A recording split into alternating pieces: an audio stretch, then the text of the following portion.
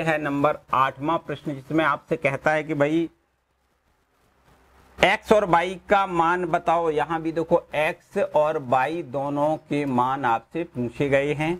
और यहाँ से हमें एक अव्यू y बराबर तो सीधा दिया गया है। भाई, अगर हमें y का मान दिया गया है तो पूछने की ज़रूरत भी नहीं है। Y का मान तो यहाँ दिया गया है, ये है तीन, दो और ये है एक, चार। ये तो y हमें दिया गया है। और दूसरा इक्वेशन यहाँ पर देखो दिया गया है कि आ, ये दिया गया है दो एक्स प्लस वाई क्या है? दो एक्स प्लस बाई बराबर। दो एक्स प्लस बाई बराबर एक ज़ीरो और यहाँ पर माइनस तीन दो ऐसा हमें देखो दिया गया है। ठीक है? अब यहाँ देखो जो बाई की वैल्यू है ना उसको यहाँ रखना है एक्स की वैल्यू हमें मिल जाएगी। तो दो एक्स बराबर ये हमारे पास हो जाएगा एक ज़ीरो माइनस तीन दो और यहाँ से ये प्लस का है, इधर ले जाओगे, माइनस का बाई हो जाएगा। अब बाई का ये मान लिख देते हैं। देखो, हमें वन ज़ीरो, यहाँ माइनस तीन दो, और इसमें हमें बाई घटाना है मतलब इसको घटाना है। क्या है हमारा? तीन दो एक चार। बच्चों, आपको पता है, घटाते कैसे? वही काम संगत अवयवों को घटा देते हैं। संगत अवयवों को घटा। एक में से हमें क्या घटाना है? तीन घटाना है। तो यहाँ से देखो, दो मिलेगा माइनस का। ज़ीरो में से घटाना है, दो तो हमें यहाँ भी माइनस का दो मिलेगा। माइनस के तीन, इसमें से एक घटाना है तो ये भी माइनस का एक है, और ये भी माइनस का तीन है तो यहाँ से माइनस का ये चार हो जाएगा। दो में से हमें चार घटाना है तो दो माइनस चार मतलब माइनस का दो हो जाएगा। ये देखो, हमने दो एक्स का मान निकाल लिया। अब भाई एक्स बराबर निकालेंगे तो निश्चित रूप से दो का हमें हर एलिमेंट में भाग देना है।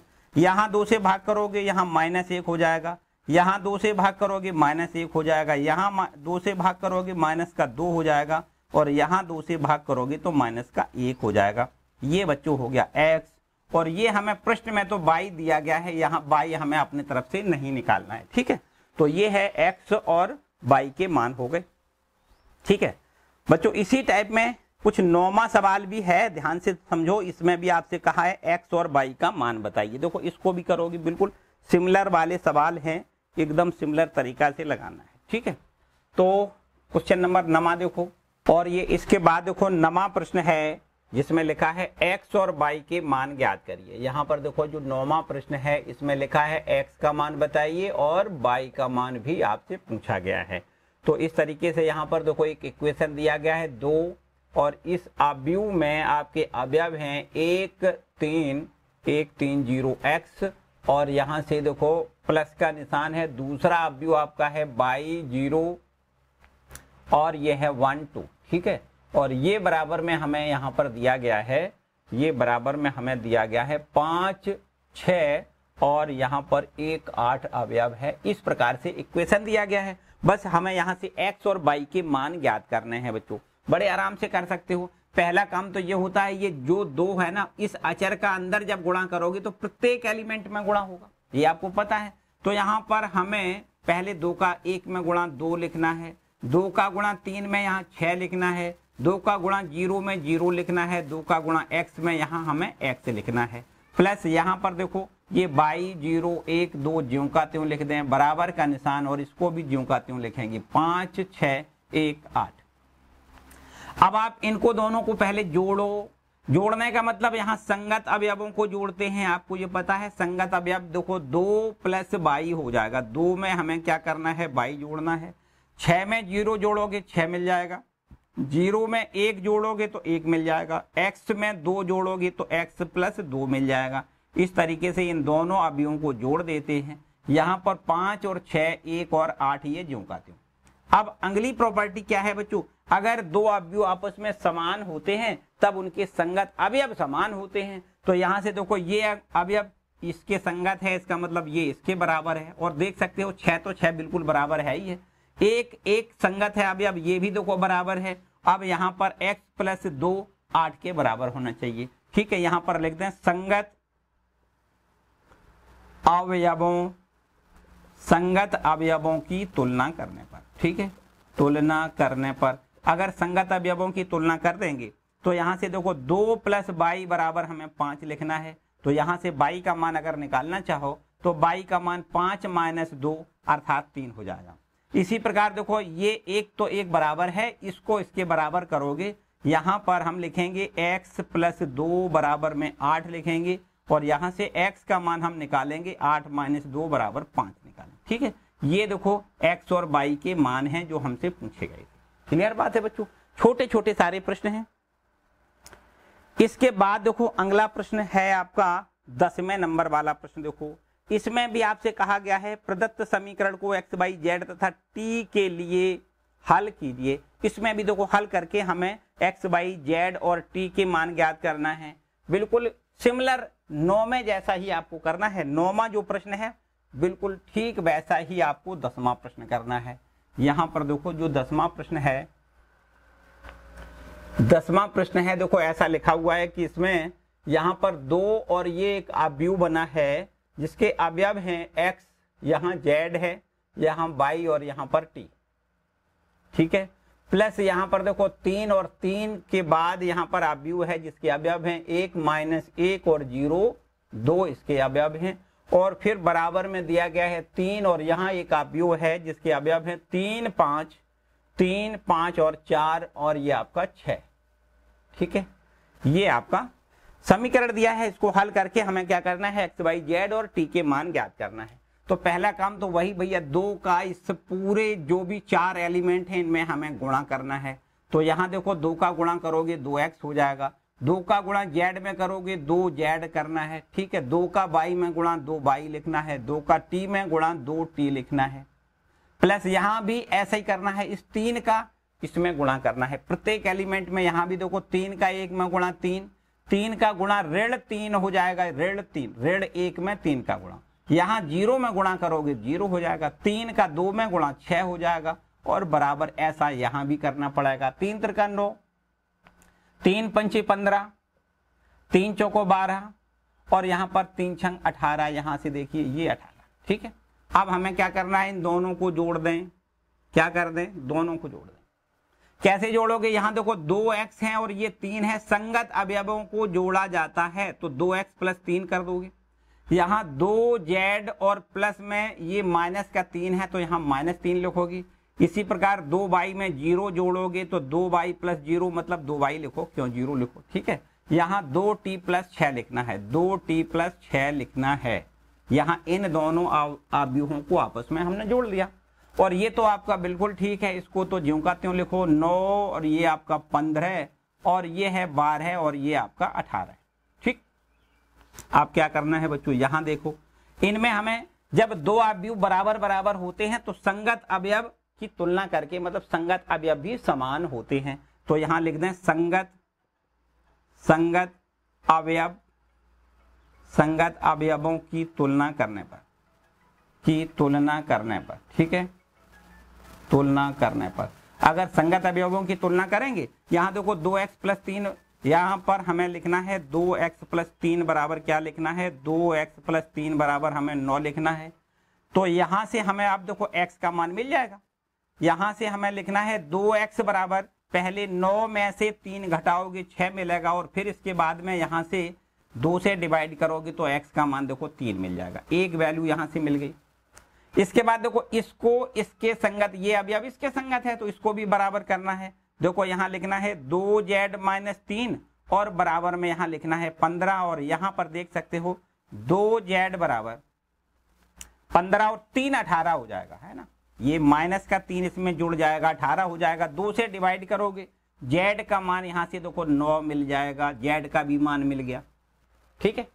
इसके बाद यहाँ देख सकते हो, ये ये काय की संगत है? बारह के। तो आपको यहाँ लिखना है, दो बाई बराबर में बारह लिखना है। तो यहाँ से दो से डिवाइड करोगे, बाई का मान कितना हो जाएगा? छह हो जाएगा।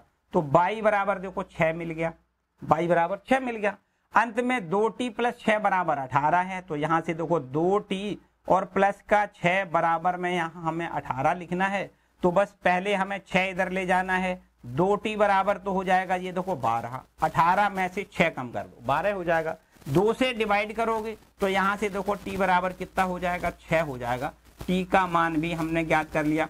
तो ये चार वैल्यूज़ जो हमसे पूछी गई थी, एक्स का मान, वाई का मान, जेड का मान और टी का मान, यहाँ से हमने देखो ज्ञात कर लिया। ठीक है बच्चों? बिल्कुल सिंपल सिंपल सारे क्वेश्चन हैं। बड़े आराम से इनको आप सॉल्व कर सकते हो, ठीक है? इसके बाद बच्चों, आगे का जो प्रश्न है, इसके बाद आगे जो प्रश्न है नंबर ग्यारहवा, मेरे ख्याल से इसको अब हम नहीं बताएँगे। आप बड़े आराम से कर सकते हो, बारहवा प्रश्न भी बड़े आराम से कर सकते हो, बिल्कुल एकदम सिमिलर है, एकदम आपके लिए होमवर्क है, ठीक है? आगे आते हैं, क्वेश्चन नंबर तेरहवा की बात करते हैं, देखो, इसको रब कर लेते हैं, क्वेश्चन नंबर तेरह की बात करें, ठीक है? दो प्रश्न हमने आपके लिए छोड़े हैं आप इनको कंप्लीट ज़रूर कर लें। ठीक है? देखिए, इसके बाद ये आपके पास जो है तेरवा प्रश्न है, इस पर आते हैं। यहाँ पर दिया गया है कि यदि ऐसा दिया गया है कि यदि एफ़ एक्स कोई फलन है और एफ़ एक्स बराबर यहाँ पर देखो, ये इस तरीके से अव्यू है, जिसके अवयव यहाँ लिखे हैं कॉस एक्स और ये है आपका माइनस साइन एक्स और ये है ज़ीरो। और इसी प्रकार से दूसरी वाली रो में यहाँ लिखा है साइन एक्स और ये है कॉस एक्स और ये ज़ीरो और इसके बाद ज़ीरो ज़ीरो वन लिखा है। ठीक है, ये एफ़ एक्स फलन है कोई। और हमसे कहता है कि सिद्ध करके बताओ, f x into f y बराबर एफ़ एक्स प्लस बाई होता है, ये हमें सिद्ध करना है। क्या सिद्ध करना है?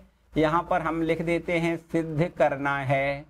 क्या सिद्ध करना है? आपको सिद्ध करके दिखाना है एफ़ इन, f x plus f y f x plus f y और बराबर में f of x plus y ये हमें देखो प्रूव करके दिखाना है, ठीक है? देखिए, बड़े ध्यान से समझो। बहुत ध्यान से। छोटी सी बात है, बिल्कुल एकदम छोटी। कैसे छोटी? ऐसे छोटी है कि भाई एफ़ एक्स का मान अगर ये है तो अब आप ये बताओ कि एफ़ वाई का मान कितना होगा। बच्चों, यहाँ f x plus f y है या नहीं, एक बार देख लेते हैं। बच्चों, गलती से यहाँ प्लस नहीं है, यहाँ प्लस नहीं है। F x into f y है। F x into f y बराबर एफ़ एक्स प्लस वाई ये हमें प्रूव करना है। ठीक है? अब यहाँ पर आप देखो कि एफ़ एक्स का मान अगर ये है तो एक्स के जगह पर अगर बाई लिख दिया जाए तो यहाँ भी आपको एक्स की जगह बाई लिखना है। जहाँ जहाँ एक्स लिखा है, वहाँ बाई लिख दें। तो ये अगर एफ़ एक्स का मान है तो देखो एफ़ वाई बराबर कितना हो जाएगा? एक्स बराबर बाई रख दें। तो निश्चित रूप से आप एफ़ बाई की वैल्यू ज्ञात कर पाएँगे। ध्यान से समझो एफ़ वाई बराबर एक्स का मान हमने बाई रख लिया। तो यहाँ भी वही काम करना है, जहाँ जहाँ एक्स लिखा है, उस सब जगह पर हमें बाई लिख देना है। तो ये हमारे पास हो जाएगा, देखो कॉस बाई यहाँ हो जाएगा माइनस साइन बाई और ये आपका ज़ीरो इसी प्रकार यहाँ भी देखो साइन साइन बाई लिखना है, यहाँ पर कॉस बाई लिखना है, यहाँ ज़ीरो और ये ज़ीरो ज़ीरो आपको वन लिखना है, ठीक? एफ़ बाई हो गया। भाई एफ़ एक्स हमारा ये है एफ़ वाई हमारा ये है तो अब हमें f x into f y मतलब दोनों का गुणा करना है।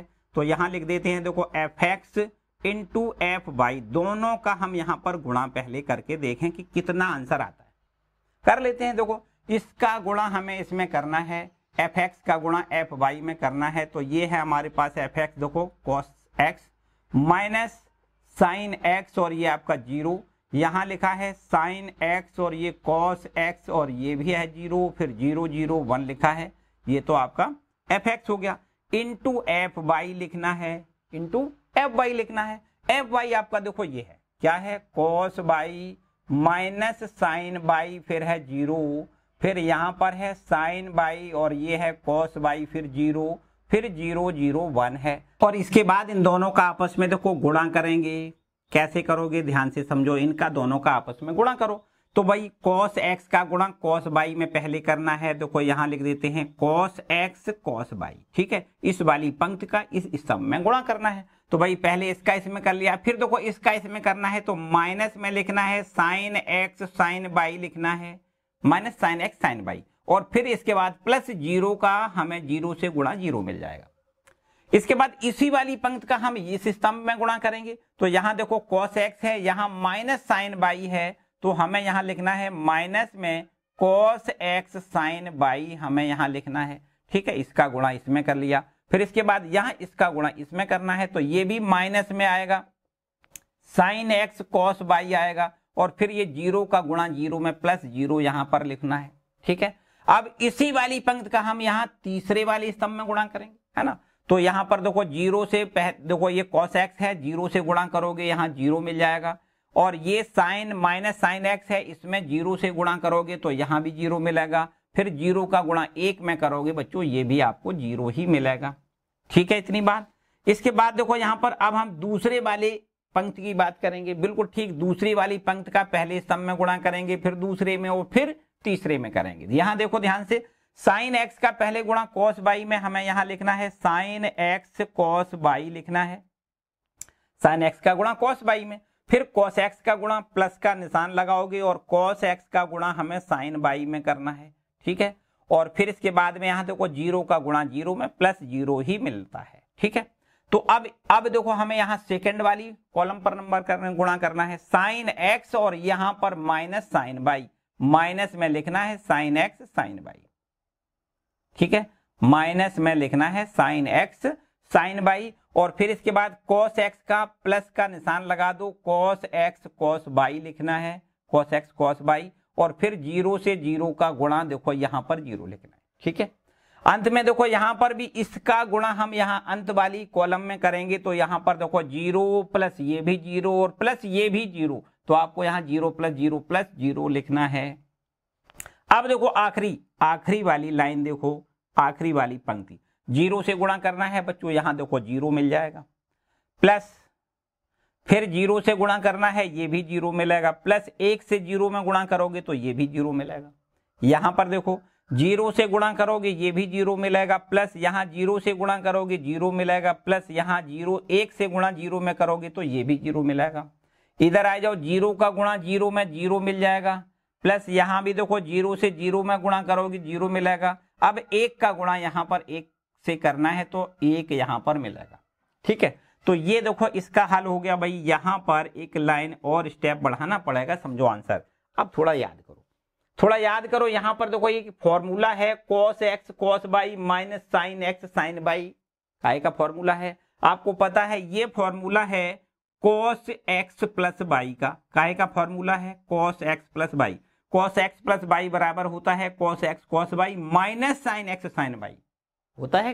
क्लास इलेवन में आपने पढ़ा है। बिल्कुल ठीक, इसी प्रकार अगर हम यहाँ से दोनों जगह से थोड़ी हमारे पास जगह कम है, इसलिए हम यहाँ पर थोड़ा डायरेक्ट करने की कोशिश करें दोनों जगह से माइनस कॉमन लें। तो ये फॉर्मूला हो जाएगा, क्योंकि ये दोनों फिर प्लस में हो जाएँगे, जब माइनस कॉमन लिया जाएगा तो दोनों प्लस में हो जाएँगे, और ये हमारा फॉर्मूला बन जाएगा sine X cos Y plus cos X sine Y मतलब दोनों पद आपके प्लस में हो जाएँगे जब माइनस कॉमन लेंगे। तो sine A cos B plus cos A sine B sine A plus B का फॉर्मूला हो जाएगा। साइन ए प्लस बी का है या एक्स प्लस बाई का है एक ही बात। ठीक है? माइनस हमने कॉमन ले लिया, दोनों जगह से देखो, यहाँ लिख लिया। और फिर इसके बाद sine X cos Y plus cos X sine Y sine X plus Y होता है, वो लिख लिया। और यहाँ पर देखो, ज़ीरो ज़ीरो ज़ीरो जोड़ोगे तो ये तो ज़ीरो ही आएगा। दूसरी रो की बात करो देखो sine X cos Y plus cos X sine Y, ये भी फॉर्मूला है। साइन ए प्लस बी का, ये काय का फॉर्मूला है? साइन एक्स प्लस बाई का फॉर्मूला है। और इसको हमने साइन एक्स प्लस बाई लिख लिया। यहाँ देखो, यहाँ cos X cos Y minus sine X sine Y, यहाँ से पढ़ना है cos X cos Y minus sine X sine Y, ये होता है कॉस एक्स प्लस बाई का। काय का फॉर्मूला है? कॉस एक्स प्लस बाई का ये फॉर्मूला है। और यहाँ पर देखो, ये आपका ज़ीरो है।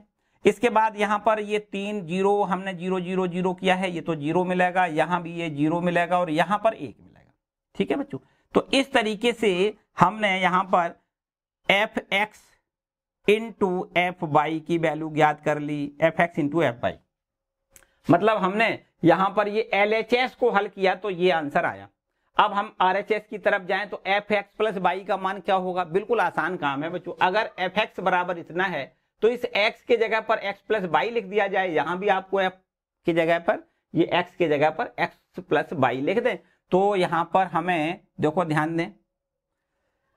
जैसे हमने अभी यहाँ पर x का मान कितना लिखा था? बाई लिख दिया था तो हमें एफ़ बाई मिल गया था। अब की बार इस x के जगह पर x प्लस वाई लिखना है। यहाँ भी सब जगह x प्लस वाई लिखना है। यहाँ पर देखो x बराबर एक्स प्लस बाई रखने पर x का मान कितना लिखोगे? X प्लस बाई लिखोगी। तो निश्चित रूप से ये हो जाएगा f और x का मान हम x प्लस बाई लिख दें। यहाँ x है, वहाँ पर हमने x प्लस बाई लिख दिया। बराबर, और ये आपका कोई जो आब्यू है, उस आब्यू में भी ऐसा ही करना है। क्या करना है? जहाँ जहाँ x है, वहाँ पर x प्लस बाई लिखना है। ये है कॉस और इसमें हमें एक्स का मान जो दिया है एक्स प्लस बाई लिखना है। फिर ये माइनस यहाँ पर देखो साइन और एक्स को हमें क्या लिखना है? एक्स प्लस बाई लिखना है और ये आपका ज़ीरो है। इसी प्रकार यहाँ देखो साइन साइन और एक्स की जगह पर हम एक्स प्लस बाई लिखेंगे। यहाँ पर कॉस और एक्स के जगह पर हम एक्स प्लस बाई लिखेंगे और ये ज़ीरो ज्यो का त्यों लिख लें। और इसी प्रकार ये आपका ज़ीरो ज़ीरो और ये आपका वन। अब आप देखो कि L H S R H S क्या बराबर है? यहाँ आपने देखा कि ये हमने एल एच एस लिखा है। देखो ध्यान में एल एच एस तो ये है हमारा। और ये हमारा जो है वो एस है। आपने देखा कि एस और आर बराबर बराबर आ रही है। आ रहे कि नहीं? यहाँ से हमने केवल और केवल इसको थोड़ा ध्यान से समझो। जहाँ पर एक्स लिखा था, वहाँ पर एक्स की जगह एक्स प्लस बाई लिख लिया। एक्स प्लस बाई लिखने से हमारा जो एस है, ये कंप्लीट होता है। ये सॉरी ये एस नहीं, बल्कि ये आपका एस है। ये आपका क्या है? एस है। और ये हमारा एस है। है ना? तो हमने देखा कि एस और एस दोनों बराबर बराबर आते हैं। एस का मान ये है और एस का मान ये है। दोनों बराबर बराबर आ रहे हैं। इसका मतलब प्रूफ होता है। ठीक है, आपको लिखना है LHS बराबर RHS और यहाँ लिखना है प्रूफ ठीक है बच्चों? ये हो गया क्वेश्चन नंबर तेरहवा इसको नोट कर लें। आगे देखते हैं, देखो क्वेश्चन नंबर चौदह क्या कहता है। यहाँ चौदहवें प्रश्न में भी आपको ऐसा लिखा है कि दर्शाइए हमें ये दिखाना है कि ये दोनों पक्ष बराबर बराबर नहीं है, ऐसा प्रश्न कहता है। ये है आपका चौदहवा नंबर का प्रश्न और चौदहवें नंबर के प्रश्न का पहला भाग है। इसमें हमें ये दिखाना है कि एक आबू है आपका पाँच माइनस एक और ये आपका छह सात। ये आपका एक आबू हो गया। और यहाँ पर दूसरे आबू से इसका गुणा करके दिखाना है। ये है आपका दो एक और ये तीन और ये चार। ठीक? तीन चार। इसका मान बराबर नहीं है, काय के बराबर नहीं है? इसका मान बराबर नहीं है, दो, एक, तीन, चार। दो, एक, तीन, चार। और ये आपका हो गया जाके पाँच माइनस एक और छ और ये सात। मतलब ये हमने पहले भी आपको बताया कि अगर ए का बी में गुणा करें तो ए बी कभी भी बराबर नहीं होता है बी ए के। तो यही तो लिखा है, देखो ये इसका इसमें गुणा है, यहाँ पर क्या है? यहाँ पर इसका इसमें गुणा है। मतलब इसका इसमें और यहाँ पर इसका इसमें, है ना? तो कुल मिला के यहाँ वही स्थिति हो गई कि ये अगर ए माना जाए, ये अगर बी माना जाए तो ये ए बी हो जाएगा और यहाँ पर ये बी ए हो जाएगा। तो ए बी बी ए बराबर होता ही नहीं है, बिल्कुल नहीं होता है। तो यहाँ पर हम इनका पहले दोनों का गुणा करेंगे, फिर इन दोनों का गुणा करेंगे और देखेंगे कि दोनों आप भी आपस में बराबर नहीं आएँगे। मेरे ख्याल से कर सकते हो, बड़ा सिंपल सा काम है। बच्चों, इसको आप खुद करोगे, ठीक है? इसको भी आपको खुद करना है। आगे बढ़ते हैं, थोड़ा और आगे। तो इसमें भी देखो, तीसरे, इसका जो दूसरा पार्ट है, उसमें भी यही करना है। उसमें भी बिल्कुल यही करना है। अब यहाँ पर दो बाई दो मतलब इसका कोटि कितना है? दो गुणे दो कोटि है, इसकी भी दो। मतलब दो गुणे दो कोटि के आव्यू हैं, उनका गुणा यहाँ पर करना है। और जो दूसरा भाग है, उसमें तीन गुणे तीन कोटि का आव्यू है, उनका आपस में गुणा करना है। ठीक है? तो मेरे ख्याल से बच्चों, इनका हम बड़े आराम से गुणा कर सकते हैं। देखिए, चलो एक करके दिखा देते हैं भाई, है ना? इसको करके दिखा देते दूसरे पार्ट को करके दिखा देते हैं। चौदवा प्रश्न का जो दूसरा पार्ट है, इसको करके दिखा देते हैं। यहाँ पर देखो, हमें दिया गया है, इसके अवयव हैं एक, दो, तीन। यहाँ ज़ीरो, एक, ज़ीरो ज़ीरो, एक, ज़ीरो, और यहाँ है एक एक, ज़ीरो। ठीक, एक आव्यू ये है। दूसरा आव्यू यहाँ पर है, माइनस एक एक, ज़ीरो। और यहाँ पर है ज़ीरो माइनस एक एक, और ये है आपका दो, तीन दो, तीन, चार, दो, तीन, चार। और ये बराबर नहीं है काय के बराबर नहीं है? अब ये इधर कर लें, ये इधर कर लें, है ना? तो हमें यहाँ पर इस प्रकार से दिखाना है, माइनस एक एक, ज़ीरो, और ये ज़ीरो, माइनस एक एक, और यहाँ पर दो, तीन, चार, और इसका गुणा, उस, इसका गुणा एक, दो एक, दो, तीन एक, दो, तीन, ये है ज़ीरो, एक, ज़ीरो और ये है एक एक, ज़ीरो। इसमें देखो दोनों पक्षों में हम दोनों पक्षों को हल करेंगे और ये देखेंगे कि ये बराबर बराबर नहीं आएँगे। पहले हमें इन दोनों का गुणा करके देखना है, फिर इन दोनों का गुणा करके देखना है और देखेंगे बराबर बिल्कुल नहीं आएँगे। कतई किसी प्रकार का कोई समस्या नहीं है। तो पहले बच्चों यहाँ पर एलएचएस में हम आपस में पहले गुणा कर लें। देखो एल क्या लिखा हुआ है, ध्यान से समझो। एल एच एस जो लिखा है, वो पहली वाली जो पंक्ति होती है, उसमें पहले वाले स्तंभ में गुणा करते हैं। तो भाई यहाँ देखो, एक का गुणा माइनस एक में करोगे, माइनस एक लिखोगे। दो का गुणा ज़ीरो में करोगे तो भैया ज़ीरो लिखोगे। तीन का गुणा दो में करोगे, यहाँ तीन दूनी छह लिखोगे। पहला ये अभी अब आपका एक कंप्लीट हो गया।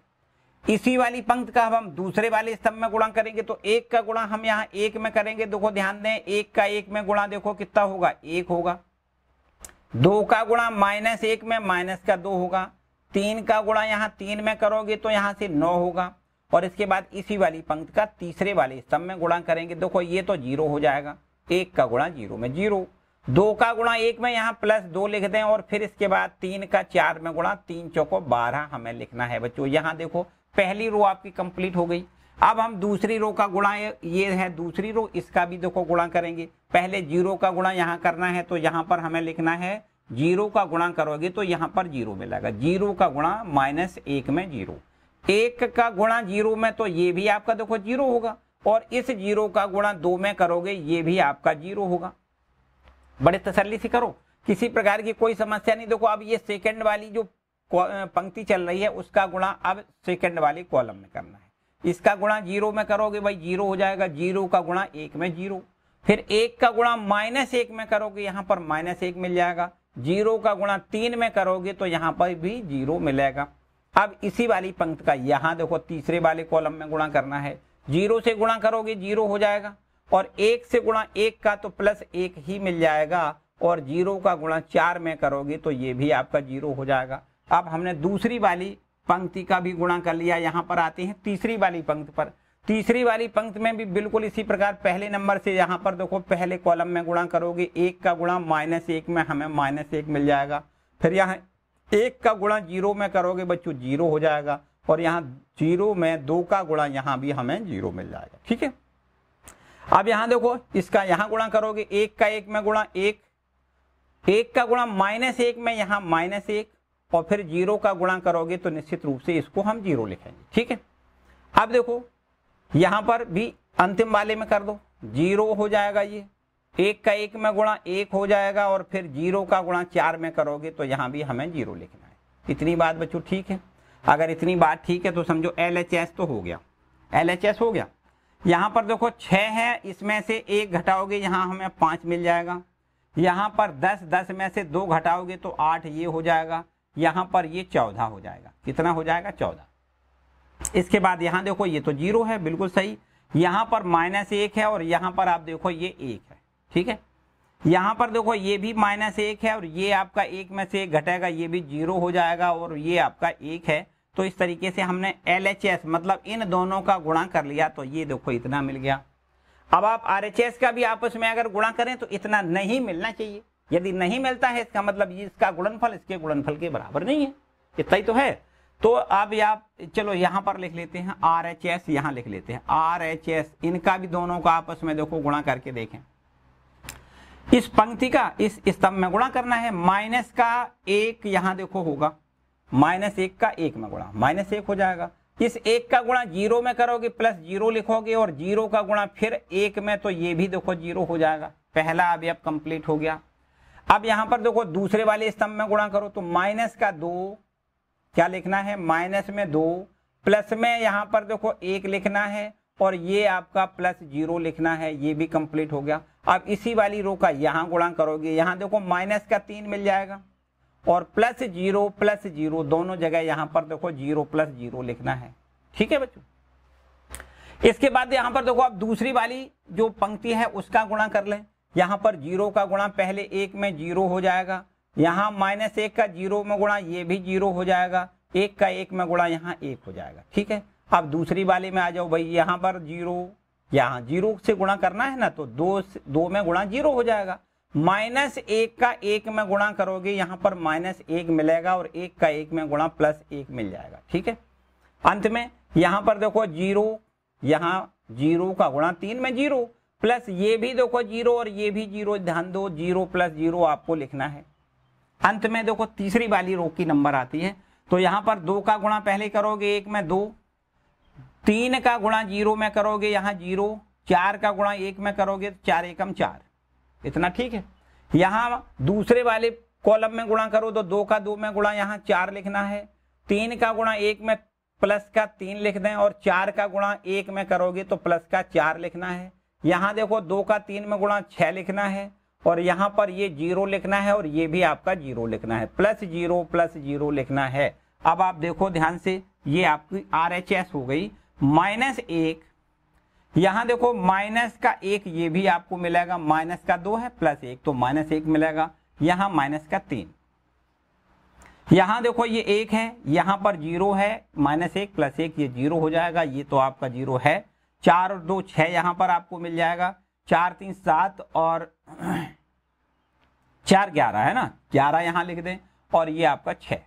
तो बच्चों, इस तरीके से आपने देखा कि ये एलएचएस है और ये आरएचएस। क्या L H S R H S बराबर हैं? कदापि बराबर नहीं है। आपको लिखना है, चूँकि L H S does not equal to R H S बराबर बराबर नहीं है। अतः ये और ये बराबर बराबर नहीं है। ये हमें देखो प्रूव करके दिखाना था।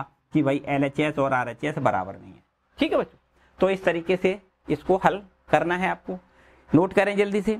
तो चलिए आते हैं क्वेश्चन नंबर पंद्रवा पर बच्चों, देखो, ये पंद्रमा ये आपका क्या था? चौदहवें प्रश्न का दूसरा भाग था, है ना? चौदहवें प्रश्न का दूसरा भाग था। अब आपको देखना है क्वेश्चन नंबर पंद्रमा देखिए पंद्रमा प्रश्न। देखिए।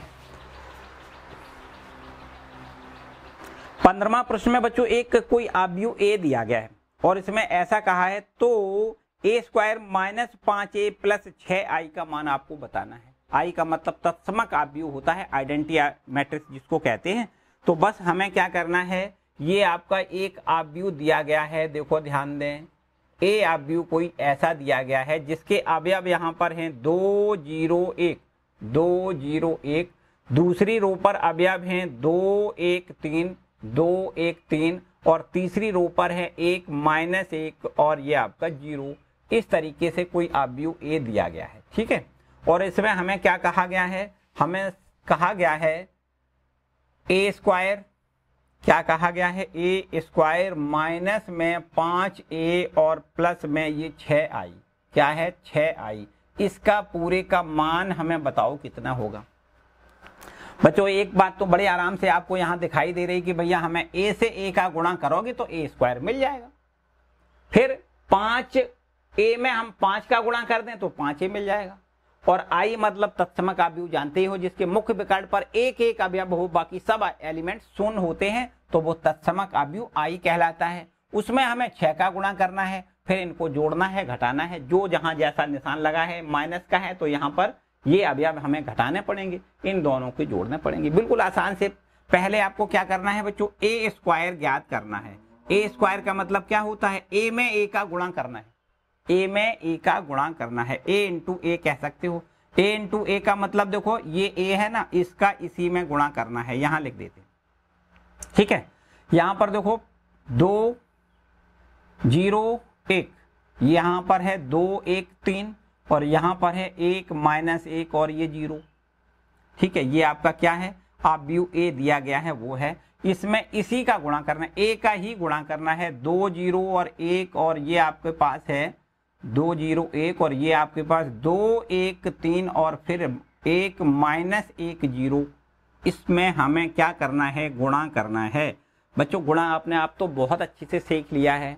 हम पहली वाली पंक्ति उठाते हैं, दूसरा वाला ये पहला वाला ही स्तंभ उठाते हैं, पहली पंक्ति और पहले स्तंभ का गुणा कर देते हैं। फिर पहली पंक्ति दूसरे स्तंभ का गुणा कर देते हैं, फिर पहली पंक्ति और तीसरे स्तंभ का गुणा कर देते हैं तो हमें एक पूरी पंक्ति तैयार हो जाती है। यहाँ देखो, दो का दो में मल्टीप्लाई फोर चार लिख दें। दो का दो में गुणा चार, फिर शून्य का गुणा करोगे भाई प्लस शून्य लिख दें। शून्य का गुणा दो में। और इसी प्रकार प्लस फिर एक का एक में गुणा कर दें तो एक हो जाएगा। बच्चों, यहाँ से इसका गुणा इसमें कर लिया। एक अवयव तैयार। अब आगे, इसी वाली पंक्ति का हम यहाँ गुणा करेंगे। तो देखो, कर देते हैं बिल्कुल आराम से। शून्य तो ये हो जाएगा, दो का गुणा शून्य में शून्य हो जाएगा। शून्य का गुणा करेंगे एक में, ये भी शून्य होगा। अब एक का गुणा माइनस एक में करेंगे तो माइनस का एक हो जाएगा। एक दूसरा अवयव तैयार हो गया। अब हमें तीसरी वाले स्तंभ में गुणा करना है। पंक्ति वही रखनी है। दो एकम दो। शून्य का गुणा तीन में शून्य हो जाएगा। एक का गुणा शून्य में ये शून्य हो जाएगा। यहाँ तक तो हम लोग पहुँच गए। ठीक? पहली वाली पंक्ति का गुणा खत्म। पहली पंक्ति तैयार। अब दूसरी वाली पंक्ति की बारी आई। इसका गुणा हमें करना है। पहले इसमें, फिर इसमें फिर इसमें। तो हमारी ये वाली पंक्ति तैयार हो जाएगी। कर देते हैं, बिल्कुल आसान से। देखो, दो का दो में गुणा बच्चों, चार मिल जाएगा। दो दूनी चार। एक का गुणा दो में करना है तो प्लस दो यहाँ मिल जाएगा, एक दूनी दो। तीन का गुणा एक में करना है तो प्लस तीन एकम तीन। पहला अभी अब मिल गया। पंक्ति बदलनी नहीं है, केवल अब स्तंभ में बदलना है। देखो, दो का गुणा ज़ीरो में ज़ीरो। एक का गुणा एक में करोगे, प्लस एक लिखना है। तीन का गुणा माइनस एक में करोगे, माइनस का तीन लिखना है। अब यहाँ पर देखो, फिर तीसरे वाले स्तंभ की बारी आ गई। दो का गुणा करना है एक में दो एकम दो, एक का तीन में गुणा तीन एकम तीन, और ये आपका ज़ीरो में जब गुणा करोगे तो ये हमें ज़ीरो मिल जाएगा। हमारी दूसरी पंक्ति तैयार हो गई। अब हमें तीसरी वाली पंक्ति से गुणा करना है, तब हमें तीसरी पंक्ति के अवयव मिल जाएँगे। यहाँ देखो, एक का गुणा पहले दो में करोगे, दो एकम दो, एक का दो में गुणा। फिर यहाँ पर माइनस एक और ये प्लस का दो तो यहाँ से माइनस का दो हो जाएगा। माइनस एक दूनी माइनस का दो। और ज़ीरो में गुणा करोगे तो एक का तो यहाँ से ज़ीरो मिल जाएगा। अब देखो यहाँ से इस पर बारी आई। यहाँ ज़ीरो में गुणा करोगे ज़ीरो, माइनस एक का एक में गुणा माइनस एक हो जाएगा। ज़ीरो का गुणा यहाँ करोगे, माइनस एक में ये भी आपका ज़ीरो लिखोगे। ठीक है? अब थर्ड वाला कॉलम एक का गुणा एक में करोगे, एक माइनस एक का तीन में करोगे तो माइनस का तीन और ये ज़ीरो में ज़ीरो का गुणा करोगे तो हमें ज़ीरो मिल जाएगा। कितनी बात ठीक है? बस समझो गुणा हो गया। ए स्क्वायर का मान हमने निकाल लिया। चार और एक पाँच, यहाँ लिख दें पाँच। यहाँ लिखेंगे माइनस एक और ये अभी आप देखो दो है, इसको दो लिख लें। इसके बाद यहाँ देखो चार दो छह और तीन नौ, इसको नौ लिखोगे। यहाँ पर एक में से माइनस का तीन तो माइनस का दो मिलेगा। यहाँ दो और तीन पाँच हो जाएगा। यहाँ देखिए दो में से दो घटेगा ज़ीरो हो जाएगा। यहाँ पर माइनस एक हो जाएगा और यहाँ से माइनस का दो हमें मिल जाएगा। ठीक? ए स्क्वायर मिल गया। अब जब हमें ए स्क्वायर मिल गया, अब हमें ज़रूरत है माइनस फाइव ए की। क्या है माइनस फाइव ए मतलब जो ए है ना, इसमें पाँच का गुणा करोगे तो पाँच ए हो जाएगा। ठीक है? यहाँ पर हम सीधा लिख लेते हैं। अब मेरे ख्याल से हम सीधा भी कर सकते हैं, बड़े आराम से सीधा कर सकते हैं। ध्यान से समझो। हमें ए स्क्वायर माइनस पाँच ए प्लस छ आई इसकी वैल्यू ज्ञात करनी है। यहाँ समझो। ठीक है? ए स्क्वायर का मान हमने निकाल लिया तो हमें ये लिख देना है ज्यों का त्यों। पहला अवयव है देखो पाँच, ये पहली रो पूरी लिख लें। पाँच, फिर माइनस एक और ये आपका दो। तीसरी रो है नौ और ये माइनस का दो और फिर पाँच और ये तीसरी जो रो है ज़ीरो माइनस एक, ज़ीरो माइनस एक और माइनस का दो, ये तो हो गया ए स्क्वायर। फिर यहाँ माइनस है और फिर पाँच है और यहाँ पर ए लिखना है। ए जो है ना, ए आब्यू वो हमें दिया गया है, उसको लिख देते हैं। दो ज़ीरो दो ज़ीरो एक लिखना है। फिर यहाँ लिखना है दो एक तीन, दो एक तीन लिखना है, दो एक तीन, फिर लिखना है एक और माइनस एक और ज़ीरो लिखना है। ठीक है? यहाँ पर हमने लिख लिया ये आपका, ये पाँच ए हो गया। ठीक? माइनस पाँच और ये ए हो गया। प्लस यहाँ लिखना है छ और यहाँ पर आई आई का मतलब समझते हो, तत्समक आव्यू लिखना है। तत्समक आव्यू आप जानते हो, प्रत्येक एलिमेंट ज़ीरो होना चाहिए, मुख्य विकर्ण के सभी अवयव एक एक होने चाहिए। तो आपको यहाँ पर तीन गुणे तीन क्रम का अव्यू लिखना है। तीन गुणे तीन क्रम का तत्समक अव्यू लिखना है। One zero zero zero one zero और ज़ीरो ज़ीरो वन लिखना है इस तरीके से। कंप्लीट है? इतनी बात समझ में आई? तो आगे बढ़े। बिल्कुल एकदम आसान से अब आपको आगे चलना है। यहाँ पर देखो, इसको ज्यो कहते हो। यहाँ आप देख सकते हो, माइनस पाँच लिखा है, इस पाँच का अंदर हम गुणा करेंगे। यहाँ पर छह लिखा है छह का अंदर गुणा करेंगे। और गुणा करने का मतलब होता है, प्रत्येक अवयव में इसका हमें गुणा करना होता है। तो यहाँ पर देखो, ये पाँच, माइनस एक और दो, यहाँ पर है ये नौ, माइनस में दो और ये पाँच, और यहाँ पर ज़ीरो, माइनस एक, माइनस दो, ये आप ज्यो का त्यों लिखें। फिर माइनस और यहाँ से देखिए, पाँच का गुणा कर लेते हैं। पाँच का गुणा करोगे, पाँच दूनी दस यहाँ लिखना है। पाँच का गुणा ज़ीरो में ज़ीरो लिखना है। पाँच का गुणा एक में करोगे तो पाँच मिल जाएगा।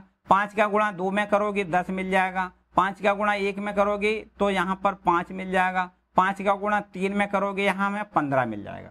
इसी प्रकार तीसरी वाली रो में गुणा करोगे, पाँच का एक में पाँच पाँच एक कम पाँच तो ये ऋण पाँच हो जाएगा और शून्य में गुणा करोगे, शून्य मिल जाएगा। ठीक है? प्लस यहाँ देखो छ प्लस का निशान है, फिर छह का अंदर जब गुणा करोगे तो यहाँ लिखोगे छह ज़ीरो ज़ीरो ज़ीरो छ ज़ीरो और ज़ीरो ज़ीरो छ लिखना पड़ेगा। आपको ध्यान से समझो, इतनी बात ठीक है। तो बच्चों देखो, अब हम यहाँ पर देखो, इनका हिसाब किताब कर लेते हैं। क्या करना है? संगत अवयवों को जोड़ते हैं और घटाते हैं। तो यहाँ देखो, पाँच है और यहाँ पर है माइनस का दस। ये माइनस का चिन्ह है तो इस अवयव को आपको घटाना है, ठीक है? और ये अवयव जोड़ना है। आपको यहाँ लिखना है पाँच, फिर इसके बाद लिखना है माइनस में दस और फिर इसके बाद प्लस का छह लिखना है। यहाँ से देखो, ये पहला अवयव तैयार हो जाएगा। इसी तरीके से ये देखो है माइनस का एक, ध्यान से समझो, थोड़ा नीचे लिख लें, थोड़ा नीचे लिख लें। जगह थोड़ी शॉर्ट हो रही है। यहाँ पर ये है ये पाँच, और इसके बाद ये है माइनस का दस, और फिर प्लस का छ ठीक है, ये आपका पहला अवयव तैयार हो गया। दूसरा अवयव देखो माइनस का है ये एक और ये माइनस का ज़ीरो तो भाई ज़ीरो को चाहे माइनस ज़ीरो लिख दो या प्लस ज़ीरो लिख दो, कोई फ़र्क नहीं। लेकिन यहाँ ये भी आपका ज़ीरो है, देखो ये प्लस ज़ीरो लिख लो, ठीक है? फिर इसके बाद तीसरा अवयव है, ये देखो दो है और ये माइनस पाँच है तो दो फिर लिखना है माइनस पाँच और फिर आपको लिखना है प्लस ज़ीरो, ठीक है? ये लिखना है। इस तरीके से देखो पहली रो आपकी तैयार होती है, ठीक है? पहली रो तैयार। इसके बाद देखो, दूसरे रो के अवयवों को जोड़ें, घटाएँ, भाई, नौ तो आपका ये है। और इसके संगत देखो, ये कौन सा है? माइनस का आपका ये है दस। माइनस का दस लिखेंगे। नौ माइनस का दस और प्लस ज़ीरो, आपको यहाँ ज़ीरो लिखना है। इसके बाद देखो, दूसरा अवयव माइनस का है दो और इसके संगत यहाँ माइनस का है ये पाँच। ध्यान से समझो, माइनस का है ना, ये माइनस लगा, इसको याद रखो, घटाना है। माइनस का पाँच और यहाँ प्लस का है छ। प्लस का क्या है? छ। ठीक है? और इसके बाद यहाँ पर देखो, है ये पाँच। क्या है? पाँच है। ये पाँच है। और यहाँ पर यहाँ पर देखो, ये माइनस का पंद्रह लिखना है। कितना लिखना है? माइनस का पंद्रह लिखना है। और प्लस में ये आपको ज़ीरो लिखना है। दूसरी रो आपकी कंप्लीट होती है। तीसरी रो के अवयवों को जोड़ो, घटाओ। भाई, ये ज़ीरो है। यहाँ पर ये माइनस का पाँच है। ज़ीरो, माइनस का पाँच। ज़ीरो, माइनस का पाँच और यहाँ पर भी ज़ीरो है। ठीक है? बिल्कुल ठीक है। इसके बाद देखो, ये माइनस का है एक, माइनस का एक लिख दिया, और यहाँ माइनस माइनस ये प्लस का हो जाएगा पाँच। ध्यान से इसको समझो, माइनस माइनस प्लस ये पाँच लिखना है, और फिर इसके बाद प्लस ज़ीरो लिखना है, ये ज़ीरो लिखना है। अंत वाला अवयव है माइनस का दो, ध्यान से समझो, माइनस का दो, ये माइनस का है ज़ीरो, ठीक है, माइनस ज़ीरो, और प्लस में छ है, प्लस छ लिखना है, इस तरीके से, ठीक है? अब तो मेरे ख्याल से बड़े आराम से इनका हमें जोड़ घटा के आंसर लिखना बड़े आराम से यहाँ आना चाहिए। छह पाँच ग्यारह दस घटाओगे तो यहाँ पर हमें देखो एक पहला अवयव एक मिल जाएगा। इसमें पहला, ये दूसरा अवयव माइनस एक है। ध्यान से समझो, माइनस एक। यहाँ पर ये माइनस का तीन, पहली रो हमारी तैयार हो गई। इसके बाद देखो यहाँ पर नौ है और ये दस घटाओगे, माइनस का एक। इसके बाद यहाँ पर देखो छ पाँच और सात सात सात, माइनस का सात और प्लस का छ तो ये माइनस का एक मिलेगा। और इसके बाद यहाँ देखो पंद्रह माइनस का है, पाँच घटाओगे, माइनस का हमें दस मिल जाएगा। यहाँ पर देखो माइनस पाँच बिल्कुल ठीक है, माइनस पाँच लिखोगे। यहाँ पर हमें चार लिखना है, पाँच में से एक घटाओ, चार मिल जाएगा। और यहाँ से चार छह में से दो घटाओगे तो यहाँ पर भी हमें चार मिलेगा। बच्चों, ये इसका आंसर है। ठीक है? तो ए स्क्वायर माइनस पाँच ए प्लस छ आई का मतलब सीधी बात हो गई। हमें इस पूरे का ये आंसर देखो मिल रहा है। ठीक है? किसी प्रकार की कोई समस्या नहीं है। बस केवल और केवल इतना याद रखना है, इतना ध्यान रखना है कि पहले जो हमें ए दिया गया, उसका स्क्वायर कैसे करोगे हम? ए का ए में गुणा करके ए स्क्वायर पहले ज्ञात कर लें। और फिर इसके बाद में ए स्क्वायर का मान देखो, हमें ये रखना है। फिर माइनस पाँच ज्यो का त्यों ए का मान प्रश्न में दिया गया, वो लिखना है। प्लस छ इंटू आई आई का मतलब तत्समा का व्यू लिखना होता है। तीन गुणे तीन क्रम का तत्समा का व्यू क्या होता है? मुख्य विकर्ण पर एक एक अवयव हो, बाकी सब एलिमेंट शून्य होते हैं। ऐसा अवयव क्या कहलाता है? तीन गुणे तीन क्रम का तत्समा का व्यू होगा। इसमें अवयव कितने होंगे? नौ। मुख्य विकर्ण पर आपको एक एक लिखना है, बाकी सब अवयव शून्य लिखने हैं। ठीक है? अब यहाँ पर देखो, पाँच से मल्टीप्लाई प्रत्येक पद में, प्रत्येक एलिमेंट्स में पाँच से गुणा कर दें। यहाँ पर छह से गुणा प्रत्येक एलिमेंट्स में कर दें, ठीक है? तो यहाँ पर पाँच का गुणा कर लिया और यहाँ पर छह का गुणा कर लिया। इसके बाद यहाँ पर इनका हमने जोड़ घटा कर लिया। मतलब प्लस वाले जो हैं, उनको जोड़ना है और ये बीच का माइनस है तो इस इस वाले के अवयवों को घटाना है, ठीक? और घटाने जोड़ने के बाद ये हमारा अवयव आ गया। तो इसकी वैल्यू हमसे पूछी गई थी, बच्चों, ये हो गई, ठीक है? तो इसको नोट कर लें। बच्चों, बिल्कुल ठीक अगर हम ये देखें, जो पंद्रमा प्रश्न है आपका बिल्कुल उसी के अकॉर्डिंग आपका सोलवा भी प्रश्न है। ध्यान से समझो तो उसी के अकॉर्डिंग आपका ये सोलवा प्रश्न है। जो पंद्रमा प्रश्न लिखा है, बिल्कुल ठीक उसी प्रकार से सोलवा प्रश्न है। आपसे यहाँ कहता है कि ए क्यूब माइनस छह स्क्वायर प्लस सात ए प्लस इक्कीस बराबर ज़ीरो सिद्ध कर दो। अब की बार बराबर में ज़ीरो सिद्ध करना है। लेकिन ए क्यूब लिखा है। यहाँ पर ए क्यूब लिखा है तो भाई ए क्यूब का मान तब ज्ञात हो पाएगा, पहले ए स्क्वायर करना पड़ेगा। ए स्क्वायर में फिर से ए गुणा करोगे तो ए क्यूब मिल जाएगा। थोड़ा प्रश्न बड़ा हो सकता है, लेकिन ए क्यूब का मान आप निकाल सकते हो। इसके बाद में ए स्क्वायर तो पहले ही निकल आएगा। जब ए क्यूब निकालोगे, इससे पहले हमें ए स्क्वायर निकालना पड़ेगा। तो यहाँ पर हमें ए क्यूब की देखो ज़रूरत है। ए क्यूब की ज़रूरत है। फिर इसके बाद में माइनस में छ ए स्क्वायर की यहाँ पर ज़रूरत है। प्लस सात ए और इसके बाद में प्लस टू आई लिखा है। ये आपका है। इसका आंसर हमें ज़ीरो देना है। तो मेरे ख्याल से बच्चों ए क्यूब का मान आप निकाल सकते हो, यहाँ रखोगे। ए स्क्वायर का भी मान हमने निकाला होगा, वो यहाँ लिखना है, उसमें छह का गुणा करना है। ए का मान प्रश्न में दिया जाएगा, उसमें सात का गुणा करना है, और टू आई का मतलब तो आप जानते हो, तत्समक आप व्यू लिखना है, जो इसमें लिखा है, बिल्कुल ठीक वही लिखना है one zero zero zero one zero zero zero one लिखना है, और उसमें दो का गुणा करना है। फिर सभी अवयवों के जो अवयव चार हो जाएँगे, एक, दो, तीन, चार संगत पदों को जोड़ोगे और इसके संगत पदों को घटाओगे तो निश्चित रूप से जोड़ने घटाने पर आपका आंसर ज़ीरो आएगा। मतलब अब यू होगा zero zero zero zero zero zero zero zero. मतलब तीनों पंक्तियों के सभी अवयव शून्य शून्य निकलेंगे तो अब हम उसको लिखेंगे ज़ीरो अवयव है। शून्य अवयव मिलेगा। ठीक है बच्चों? तो मेरे ख्याल से इसको अगला जो प्रश्न है आपका सोलवा, ये आप खुद करोगे, ये सोलवा प्रश्न आपको करना है। ठीक है? अगर भाई देवे किसी प्रकार की समस्या आती है बच्चों कतई परेशान ना हो, हमें कमेंट करके बताओगे तो इसका हम केवल और केवल एक ही प्रश्न का हम सॉल्व करके आपको वीडियो भेजेंगे, ठीक है? तो कतई परेशान ना हो, यदि भाई देवे नहीं आता है तो कमेंट सेक्शन में कमेंट ज़रूर करें, ठीक है? इसके बाद सोलहवें प्रश्न के बाद हम लोग पहुँचते हैं क्वेश्चन नंबर सत्रहवें पर। देखो ध्यान दें क्वेश्चन नंबर सत्रह क्या है? इसको रब कर लेते हैं क्वेश्चन नंबर सत्रह की बारी क्या है? देखो ध्यान दें। ये आपके पास है सत्रहवा नंबर प्रश्न। इसमें लिखा है ए का व्यू कोई ए है, यहाँ पर दिया गया है यदि ए बराबर ए बराबर हमें दिया गया है, इसके अवयव यहाँ पर हैं तीन माइनस दो, तीन माइनस दो, चार माइनस दो। ये ए कोई आव्यू है, और यहाँ पर एक आई तत्समक आव्यू यहाँ पर है, देखो। उसको हमें पता है वन ज़ीरो ज़ीरो वन होता है। बाई द वे इसमें दिया गया है, अगर ना दिया जाता तो अभी इसको हम तत्समा काव्यू को यही लिखते हैं, हमेशा हमें पता है। आई बराबर क्या होता है? वन ज़ीरो ज़ीरो वन होता है। और आपसे ये कहा गया है कि ए स्क्वायर बराबर ए स्क्वायर बराबर के इंटू ए और माइनस में टू आई हो तो के का मान बताओ। ऐसा प्रश्न में पूछा गया है बच्चों, ये आपका प्रश्न है। ए का मान दिया है आई का मान दिया गया है। और यदि ऐसा हो कि ए स्क्वायर बराबर के माइनस टू आई हो तो के का मान बताइए। तो यहाँ पर क्या करना है बच्चों? पहले काम तो ये है, हमें ए स्क्वायर निकालना होगा। और ए स्क्वायर का मतलब होगा ए इंटू ए ये भी हमें पता है। और ए इंटू ए का मतलब ए से ए का हमें क्या करना है? गुणा करना है, ये भी हमें पता है। ए के आव्यू के जो अवयव हैं, वो हैं तीन माइनस दो और यहाँ चार माइनस दो।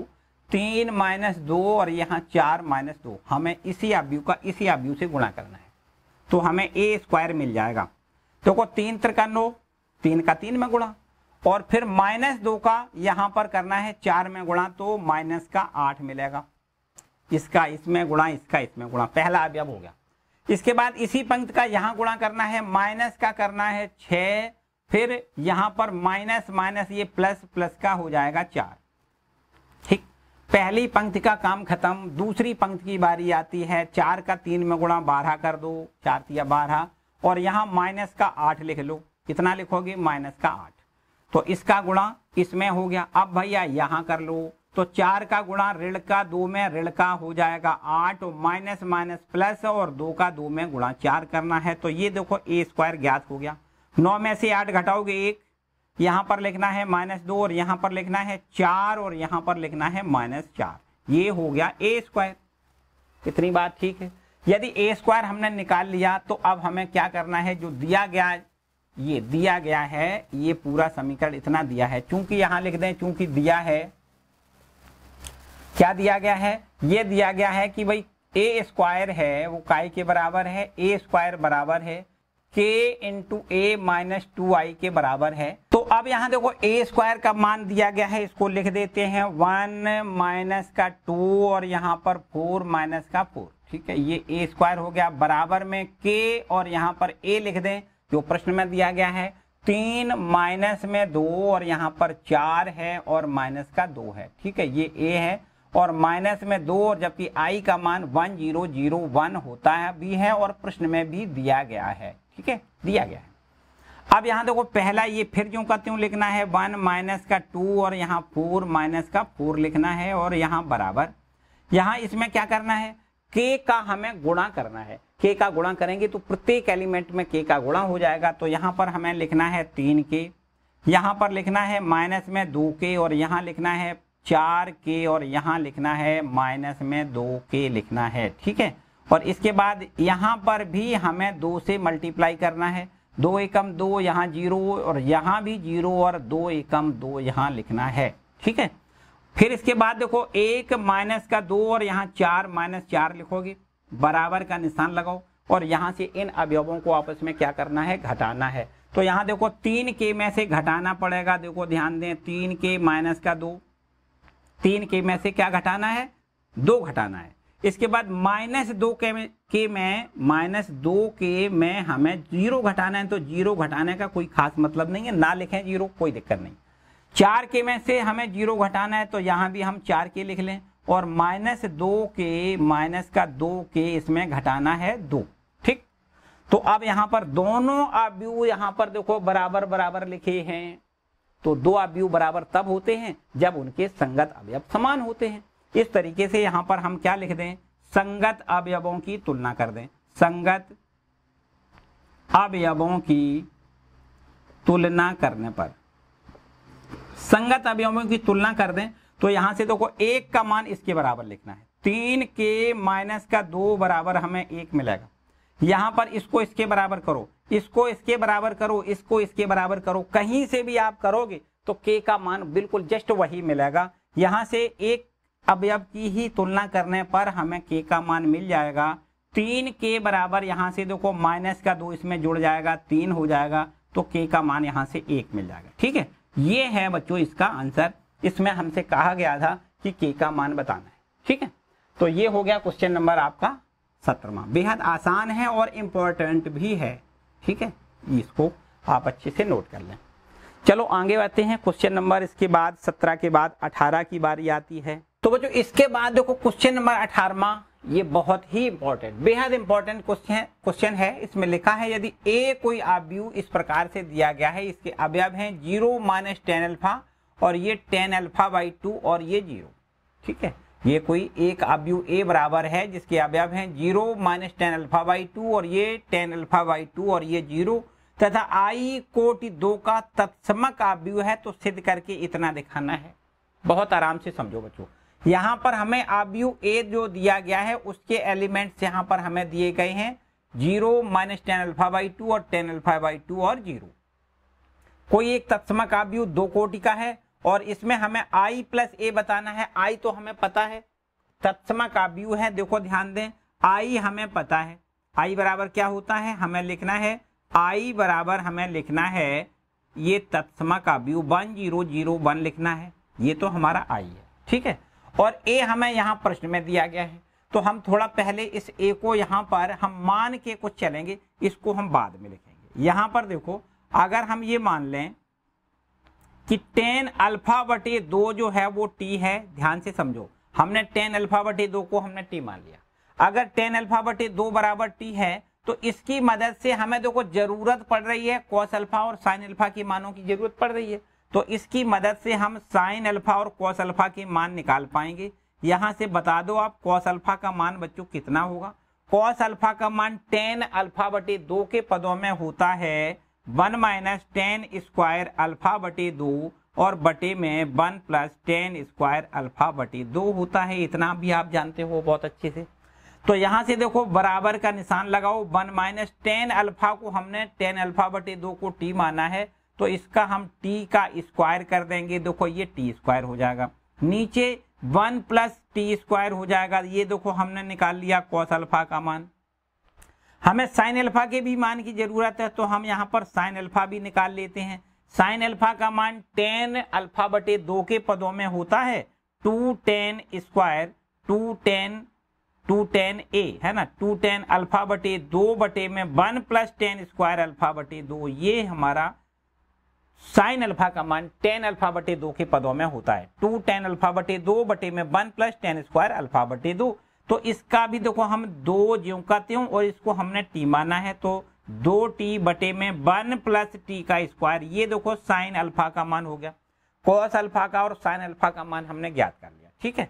अब हम आते हैं बिल्कुल एकदम अपनी अपनी जगह पर फिट बैठ जाते हैं। यहाँ देखो पहले LHS है, वो कितना है?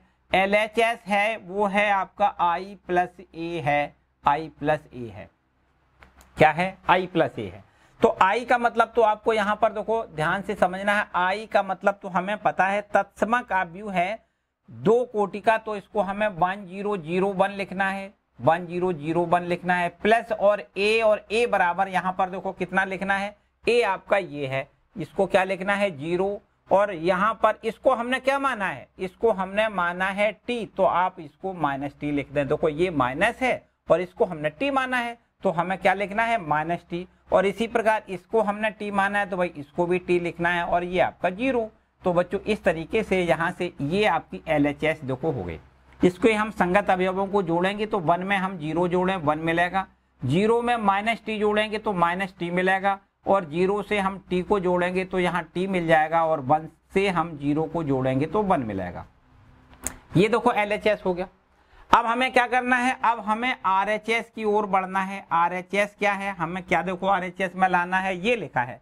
आई माइनस क्या है? ध्यान से समझो आई माइनस ए और ये जो ब्रैकेट है, उसमें लिखा है कॉस अल्फ़ा फिर है ये माइनस में साइन अल्फ़ा और यहाँ पर साइन अल्फ़ा और इसके बाद ये हमारा है कॉस अल्फ़ा ये इतना है, देखो ध्यान से। ठीक है? कैसे करोगे? यहाँ पर बड़े ध्यान से समझो। देखो, आई का मान हमें पता है वन ज़ीरो ज़ीरो वन लिखना है। ये आपका तत्समा का व्यू ऐसे लिखते हैं, है ना? दो कोटि का है। और माइनस में यहाँ पर करना है ए और ए आपका क्या है? ए बराबर, देखो, ये लिखा है ना? ए यही तो है। ये पूरा लिखना है ज़ीरो माइनस में टी लिखना है और यहाँ टी और यहाँ पर ज़ीरो लिखना है। इनको तो हमें दोनों को आपस में क्या करना है? इसमें से इसको घटाना है। इसको तो इससे हमें देखो घटाना है, ठीक है? और इसके बाद यहाँ पर आ जाओ, यहाँ पर। इसमें देखो, इसमें हमने कॉस अल्फ़ा साइन अल्फ़ा के जो मान निकाले हैं, उनको यहाँ पर रखना है। ध्यान से समझो। एक और देखो यहाँ से कॉस अल्फ़ा का मान ये है ना, इसको हमें ये लिखना है। ये नहीं, इसको हमें टी के पदों में जो हमने कन्वर्ट कर लिया है। इसी प्रकार साइन अल्फ़ा का मान हमने टी के पदों में कन्वर्ट कर लिया है। ये लिखना है। तो यहाँ लिख देते हैं देखो कॉस अल्फ़ा का मान ये लिखेंगे। One minus T square, one minus T square upon में वन प्लस टी स्क्वायर लिखना है, ठीक है? और इसके बाद यहाँ पर देखो, ये माइनस का चिन्ह है तो माइनस भी लगाओ और साइन अल्फ़ा का मान लिखो। साइन अल्फ़ा का मान है टू टी अपोन, क्या है? टू टी और अपोन में लिखना है वन प्लस टी स्क्वायर लिखना है, ठीक है? इसी प्रकार यहाँ भी साइन अल्फ़ा का मान लिखोगे, two T upon one plus T square लिखोगे। और इसके बाद यहाँ कॉस अल्फ़ा का मान one minus T square upon में वन प्लस टी स्क्वायर लिखोगी। इतनी बात बच्चों ठीक है? इतनी बात ठीक है? तो अब यहाँ पर ध्यान से समझो क्या करना है। हम यहाँ पर इन दोनों अवयवों को आपस में घटा लें। तो संगत अवयवों को घटाना है। देखो वन में से शून्य घटाओगे तो यहाँ पर देखो वन मिलेगा। और यहाँ ज़ीरो में से घटाओगे माइनस का टी तो माइनस माइनस प्लस हो जाएगा। यहाँ पर हमें टी मिल जाएगा।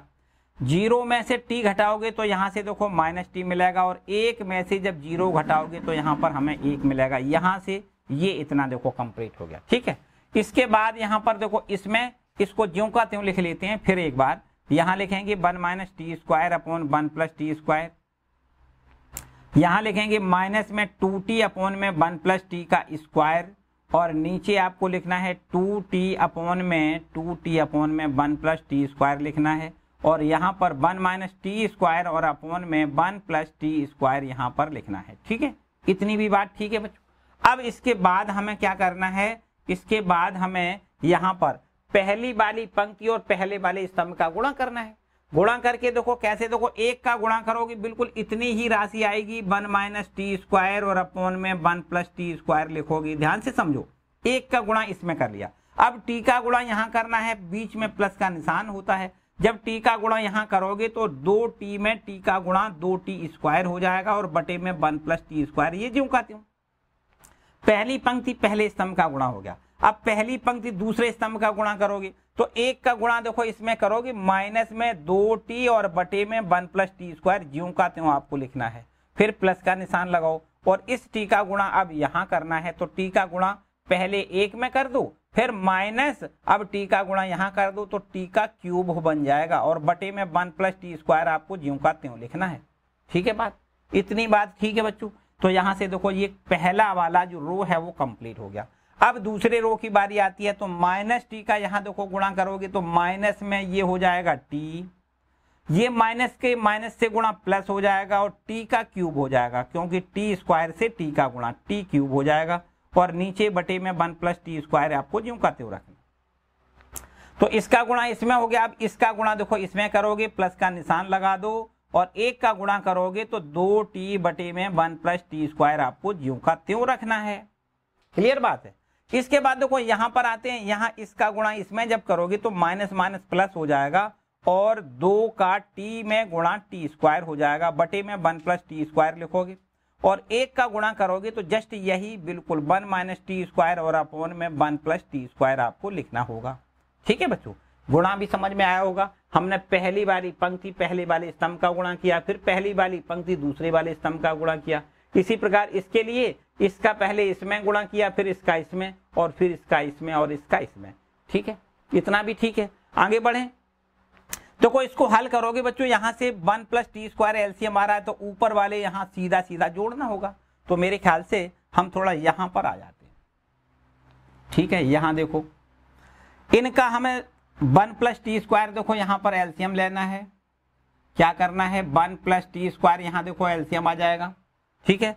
और वन माइनस टी स्क्वायर और यहाँ से प्लस टू टी स्क्वायर तो टू टी स्क्वायर में से एक टी स्क्वायर घट जाएगा। वन प्लस टी स्क्वायर ही ऊपर आपको मिलेगा। ध्यान से समझो, थोड़ा डायरेक्ट कर रहे हैं, जगह कम है, ध्यान से समझ सकते हो। दो टी स्क्वायर प्लस का है, इसमें से एक टी स्क्वायर ये घट जाएगा तो वन प्लस टी स्क्वायर बचेगा और नीचे देखो ये एलसीएम ज्यो कहते हो इसी प्रकार देखो, यहाँ पर आ जाओ, यहाँ भी देख सकते हो, one plus T square, one plus T square दोनों जगह है, बिल्कुल ठीक है। तो यहाँ से इन दोनों को आपस में जोड़ना होगा यहाँ देखो, माइनस का दो टी है, एक टी जोड़ोगे तो माइनस का एक टी बचेगा और माइनस टी क्यूब ज्यो कहते हो।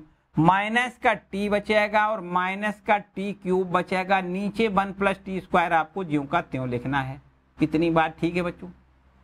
अब दूसरी वाली ऊपर आ जाओ यहाँ भी देखो, वन प्लस टी स्क्वायर ज्यो का त्यों आपको एलसीएम तो वन प्लस टी स्क्वायर मिल रहा है, बिल्कुल ठीक है।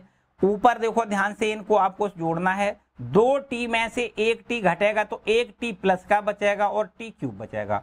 मतलब टी प्लस टी क्यूब बचेगा, टी प्लस टी क्यूब बचेगा। यहाँ भी आप देखो तो वन प्लस टी स्क्वायर देखो, एलसीएम आएगा। तो अब आपके पास दो टी स्क्वायर है, एक टी स्क्वायर ये घट जाएगा तो एक टी स्क्वायर बचेगा और एक एक ये बचेगा तो मतलब वन प्लस टी स्क्वायर यहाँ भी बचेगा। ठीक है? इतनी बात ठीक है बच्चों? अगर इतनी बात ठीक है तो मेरे ख्याल से अब तो बिल्कुल हम लोग किनारे आ गए हैं, एकदम किनारे। आप देख सकते हो one plus T square, one plus T square, यहाँ पर हमें एक लिखना होगा। बिल्कुल लिख सकते हो। ऊपर थोड़ा एक काम कर दें भाई, तब यहाँ देखो ध्यान दें, माइनस टी अगर कॉमन ले लिया जाए तो यहाँ से हमें वन प्लस टी स्क्वायर मिलेगा। और नीचे देखो वन प्लस टी स्क्वायर लिखा है, ये आपका कैंसिल हो जाएगा। तो केवल माइनस टी मिलेगा यहाँ ठीक है? इसी प्रकार ऊपर देखो, यहाँ से टी कॉमन मिल रहा है तो वन प्लस टी स्क्वायर मिलेगा और बटे में यहाँ पर वन प्लस टी स्क्वायर है। यहाँ भी आप वन प्लस टी स्क्वायर से वन प्लस टी स्क्वायर काट दो और यहाँ से सीधा कैंसिल हो रहा है तो एक मिल जाएगा, ठीक है? यहाँ से आप देख सकते हो, इसमें आपको यहाँ ऊपर मिल रहा है एक, यहाँ माइनस का टी और यहाँ से टी और यहाँ से एक मिल रहा है बच्चों। ये आपकी है, क्या है? ये आपकी आर का हल है। पूरा क्या है? आर एच एस का हल है, हम आर एच एस जब हल हमने किया है तो ये आ गया। अच्छा एल एच एस हल किया है, तब बच्चों कितना आया? तब आप देख सकते हो तब ये आया। तो एल एच एस और आर एच एस जस्ट बराबर है। इसका मतलब इसका मतलब ये ये बिल्कुल एकदम सत्यापित होता है कि ये इसके बराबर है। एल एच एस है, ये आर एच एस है, ये दोनों आपस में बराबर हैं। इसका मतलब सीधी बात है कि ये इसके बराबर है। आपको यहाँ पर फाइनल में क्या लिखना है? बच्चों, यहाँ पर लिखना है, चूँकि एल एच एस बराबर है आर एच एस इसलिए ये प्रूव्ड होता है। यहाँ पर हम प्रूव्ड लिख दें सीधा डायरेक्ट। और अगर बहुत अच्छा लिखना है तो एल एच एस बराबर आर एच एस लिखो और फिर ये बराबर इसके लिख दो कि भाई ये जो है एल एच एस ये इसके बराबर है और फिर इसके बाद प्रूव्ड लिख दो। ठीक है, हमारे पास जगह कम है, हमने यहाँ लिख दिया। कोई डाउट? ठीक है तो बड़े आराम से पहले तो आपको ये समझना है कि यहाँ पर जो हमें ए की वैल्यू दी गई है ए की वैल्यू वो टेन के, टेन अब अब है ना टेन अल्फ़ा बटे दो। इस टेन अल्फ़ा बटे को टेन अल्फ़ा बटे दो को हम टी मान के हम इसकी मदद से कॉस अल्फ़ा और साइन अल्फ़ा का मान ज्ञात करेंगे। क्यों करेंगे? क्योंकि हमें जो आंसर ले आना है, ये आंसर में देखो, ये हमें जो प्रूव करना है, इसमें कॉस अल्फ़ा साइन अल्फ़ा की हमें ज़रूरत पड़ रही है। तो टेन अल्फ़ा बटे दो की मदद से हमने साइन अल्फ़ा और कॉस अल्फ़ा के मान देखो, यहाँ से ज्ञात कर लिए। ठीक है? फिर इसके बाद में एल एच एस लेके चले आर एच एस लेके चले, दोनों पक्षों को हल किया, बराबर बराबर आया, इसका मतलब सिद्ध होता है, ठीक? ये भी क्वेश्चन बच्चों बहुत इंपॉर्टेंट है, काफ़ी बार पूछा गया है, अच्छी तरीके से आप इसको नोट कर लें, ठीक है? इसके बाद देखो, अठारहवें प्रश्न के बाद हम लोग आते हैं क्वेश्चन नंबर उन्नीस पर। देखिए, जल्दी से नोट कर लें बच्चों, उन्नीसवा प्रश्न देखते हैं। उन्नीसवा प्रश्न क्या है? थोड़ा इबारती टाइप में है, देखो यहाँ पर पूरी इबारत समझो। ध्यान से इसको रब कर लें। इसको रब करके क्वेश्चन नंबर 19 को पहले ध्यान से रीड करो। पहले रीड करो ध्यान से कि भैया इसमें क्या क्या हमें दिया गया है, हम इसका कैसे हल कर पाएँगे। कुछ प्रश्न तो ऐसे होते हैं, संख्यात्मक मान जिनके दिए जाते हैं, उनको सीधा सीधा गुणा करना है, भाग करना है, क्या करना है, जो भी है वो सामने होता है। इसमें यहाँ पर इबारत लिखी हुई है, ध्यान से समझो, वर्ड प्रॉब्लम वाले क्वेश्चन जो होते हैं, उनको अच्छे से पहले रीड किया जाता है। उन्नीसवा प्रश्न है, लिखा है, किसी व्यापार संघ के पास तीस हज़ार रुपए का कोष है। किसी व्यापारी, कोई व्यापारी व्यक्ति है, उसको, उसके पास तीस हज़ार रुपए हैं। बिल्कुल ठीक है। जिसे दो भिन्न भिन्न प्रकार के बॉन्डों में निवेश करना चाहता है, वो ये चाहता है कि इसको दो जगह हम निवेश कर दें। किसी दो कंपनियों में निवेश कर दें बॉन्ड खरीद लें वो, है ना? तो दो जगह वो निवेश करना चाहता है। प्रथम बॉन्ड पर उसको पाँच परसेंट ब्याज मिलता है और दूसरे बॉन्ड पर उसको सात परसेंट वार्षिक ब्याज प्राप्त होता है। एक जगह उसने कुछ पैसे दिए, पाँच परसेंट ब्याज मिल रहा है। दूसरी जगह पैसे दिए मतलब तीस हज़ार रुपए के दो हिस्से उसने बना लिए। एक हिस्सा दे दिया पाँच परसेंट के ब्याज पर, एक हिस्सा दे दिया उस पर सात परसेंट का ब्याज मिल रहा है, ठीक है? सात परसेंट वार्षिक ब्याज मिल रहा है। बहुत ठीक है। लिखा है आव्यू गुणन विधि के प्रयोग द्वारा यह निर्धारित करिए कि तीस हज़ार रुपए के कोष को दो प्रकार के बॉन्डों में निवेश करने के लिए किस प्रकार बांटे की व्यापार संघ को प्राप्त कुल वार्षिक ब्याज अठारह सौ रुपए मिले? मतलब सवाल आपसे ये कहता है कि व्यापारी अपने पैसे को, कितने पैसे को पाँच परसेंट के ब्याज पर लगाए और कितने पैसे को सात परसेंट के वार्षिक ब्याज की दर से लगाए ताकि एक वर्ष का उसको कुल ब्याज अठारह सौ रुपए मिले। ऐसा प्रश्न कहता है। ध्यान से समझो। बच्चों, हम ये मान लेते हैं कि टोटल तीस हज़ार रुपए उसके पास है। माना तीस हज़ार रुपए जो उसके पास है, तीस हज़ार रुपए के दो हिस्से उसने बना लिए। कि दो भाग, तीस हज़ार रुपए के दो भाग बना लिए। एक भाग एक्स है और दूसरा है आपका तीस हज़ार माइनस एक्स हो जाएगा, इतनी बात तो ठीक है। भाई, अगर ये कहें कि भाई हमारे पास पाँच रुपया है, इसके दो हिस्सा बनाओ तो भाई हम बना दें, ऐसे बना सकते हैं, भाई दो हिस्सा हो गए। या ऐसा भी कह सकते हैं, एक प्लस चार, यहाँ पर देखो दो हिस्से हो गए। मतलब कुल मिला के हम दोनों को जब जोड़ेंगे तो हमें पाँच मिलना चाहिए, दो हिस्से हो जाएँगे। तो इसी प्रकार इन दोनों को जब जोड़ोगे तो तीस मिलेगा, तीस हज़ार मिलेगा। तो माइनस एक्स, ये प्लस एक्स कैंसिल हो जाएगा, तीस हज़ार तो मिलेगा। एक हिस्सा अगर एक्स है तो दूसरा हिस्सा कितना हो जाएगा? तीस हज़ार माइनस एक्स ठीक है? क्लियर बात? इसमें तो किसी को कोई दिक्कत वाली बात नहीं। अच्छा भाई, तीस हज़ार के दो हिस्से इसने बना लिए। इसने मान लिया ये हिस्सा दे दिया, पाँच परसेंट पर लगा दिया। और ये वाला हिस्सा मान लो लगा दिया सात परसेंट पर। वार्षिक ब्याज इस पर मिल रहा है पाँच परसेंट का वार्षिक ब्याज और इस पर मिल रहा है सात परसेंट का वार्षिक ब्याज। ठीक है? अब टोटल मिला के जब एक वर्ष हुआ तब उसके ब्याज को, ब्याज का दोनों दोनों व्यक्तियों ने, इस कंपनी वाले ने और इस कंपनी वाले ने टोटल ब्याज दिया, वो अठारह सौ रुपया मिल गया। कितना मिला? अठारह सौ रुपए तो अब प्रश्न ये कहता है कि पाँच परसेंट पर कितने पैसे लगाए गए हैं और सात परसेंट की ब्याज पर कितने पैसे लगाए गए हैं, वो अलग अलग बताओ कि भाई पाँच परसेंट पर कितना लगाया और सात परसेंट पर कितना धन लगाया गया है। बात समझ में आई? क्या प्रश्न कहता है? अब देखो, यहाँ पर हमें विद से बताना है। वैसे तो बहुत सिंपल सी बात है, बहुत सिंपल सी बात है, लेकिन हमें यहाँ पर विद से दिखाना है कि कितना पाँच परसेंट की ब्याज पर धन लगाया गया है और कितना धन सात परसेंट की ब्याज पर लगाया गया है। ये हमें आव्यू विद से दिखाना है, जबकि दोनों का ब्याज अठारह सौ रुपए दिया गया है। दोनों का एक वर्ष का ब्याज, जो वार्षिक ब्याज है, वो कितना है? अठारह सौ रुपए। तो देखो, ध्यान से, यहाँ पर एक आव्यू मान लें। यहाँ पर दो भाग है ना, एक ये और एक ये। पूरे तीस हज़ार के दो टुकड़े जो बनाए हैं, वो यहाँ पर एक पंक्ति आव्यू के रूप में इसको लिख लें। एक्स और ये आपका लिख दें तीस हज़ार तीस हज़ार माइनस एक्स यहाँ पर ये आप एक पंक्त आव्यू के रूप में एक आव्यू बना लें, ठीक है? अब यहाँ पर देखो, ब्याज की दरें कितनी हैं? ब्याज की दरें कितनी हैं? ध्यान से समझो। ब्याज की दरें हैं पाँच परसेंट और सात परसेंट। मतलब ब्याज की दरें हैं पाँच प्रतिशत पाँच प्रतिशत का मतलब समझते हो? पाँच बटे सौ लिख दें। पाँच बटे सौ। और सात बटे सौ, पाँच परसेंट और सात परसेंट की ब्याज पर ये धन आपका लगाया गया है। तो कुल मिला के ऐसा कह सकते हैं, दशमलव ज़ीरो पाँच व दशमलव ज़ीरो सात कह लें। ठीक है? इन ब्याज की दरों को हम यहाँ पर आर मान लें। और इनको हम, देखो ध्यान दें यहाँ पर ये पंक्ति आव्यू बनाया है। यहाँ पर ये पंक्ति आव्यू बनाया तो इसको स्तंभ आव्यू में लिखना है। इन दरों को स्तंभ आव्यू में लिख दें, ज़ीरो दशमलव पाँच लिख दें सॉरी ज़ीरो दशमलव ज़ीरो पाँच। और यहाँ पर ज़ीरो दशमलव ज़ीरो सात लिख लें, ठीक है? ज़ीरो दशमलव ज़ीरो पाँच, ज़ीरो दशमलव सात। अब समझो आप। ये हो गई ब्याज की दरें, ये हो गया मूलधन, एक यहाँ और एक यहाँ, ठीक है? तो अब टोटल मिला के इन इसका इस का और इसका मतलब ये दो प्रकार के बॉन्ड बने, एक पर ये धन लगा लगाया है और एक बॉन्ड पर ये धन लगाया गया है।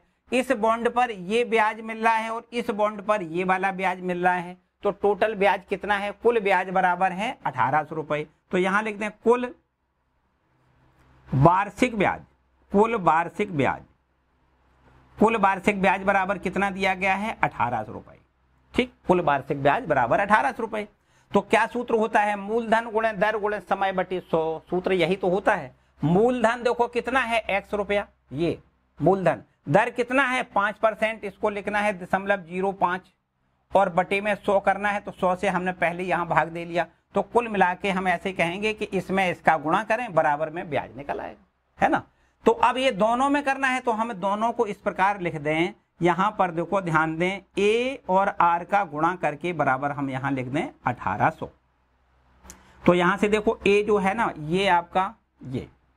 आपको क्या लिखना है? यहाँ लिखना है एक्स और यहाँ लिखना है तीस हज़ार माइनस एक्स लिखना है, ठीक है?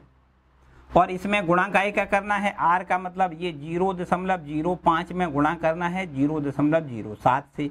और यहाँ पर बराबर हम अठारह सौ लिख अब यहाँ से हमें एक्स का मान मिल जाएगा। और जो भी एक्स का मान मिलेगा, वो पहला बॉन्ड जो लगाया गया, जिस पर पाँच प्रतिशत का ब्याज मिल रहा है, उसका धन कितना है, वो धन निकल आएगा। और फिर हमें तीन, तीस हज़ार में से उस धन को घटा देना है तो दूसरा, जो दूसरा भाग है, वो भाग निकल आएगा, जो हमने सात परसेंट की ब्याज पर लगाया है, वो भाग निकल आएगा। यही हमसे प्रश्न में पूछा गया है। तो इसको पहले हल करोगे, कैसे करोगे? इसका इसमें गुणा करोगे, और आप भी से गुणा करना है। गुणा का मतलब तो सीधा आपको पता है कि भैया यहाँ पर देखो दो स्तंभ हैं। एक स्तंभ, दो स्तंभ। दो स्तंभ हैं तो दो पंक्तियाँ होनी चाहिए। देखो हमने इसीलिए दो पंक्तियाँ बनाई हैं। दो स्तंभ हैं तो इधर दो पंक्तियाँ होनी चाहिए, तभी गुणा संभव होता है। एक्स का गुणा पहले यहाँ करोगे तो हमें यहाँ पर एक्स गुणा लिखना है ज़ीरो दशमलव ज़ीरो पाँच।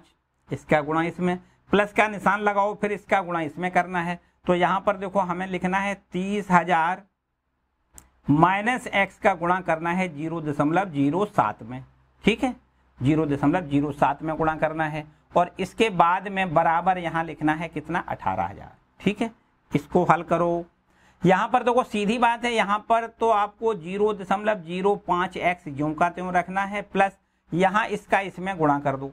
कैसे करना है? दशमलव ज़ीरो सात का गुणा पहले इसमें करो। फिर दशमलव ज़ीरो सात का गुणा हमें एक्स में करना है। पहले यहाँ करोगे सात या इक्कीस। ध्यान से समझो, इक्कीस। और यहाँ से एक, दो, तीन, चार। एक, दो, तीन, चार ज़ीरो बढ़ाएँ और दो अंक के बाद आपको यहाँ दशमलव रखना है। मतलब यहाँ दो ज़ीरो खत्म कर दें। इक्कीस सौ बचेगा ये।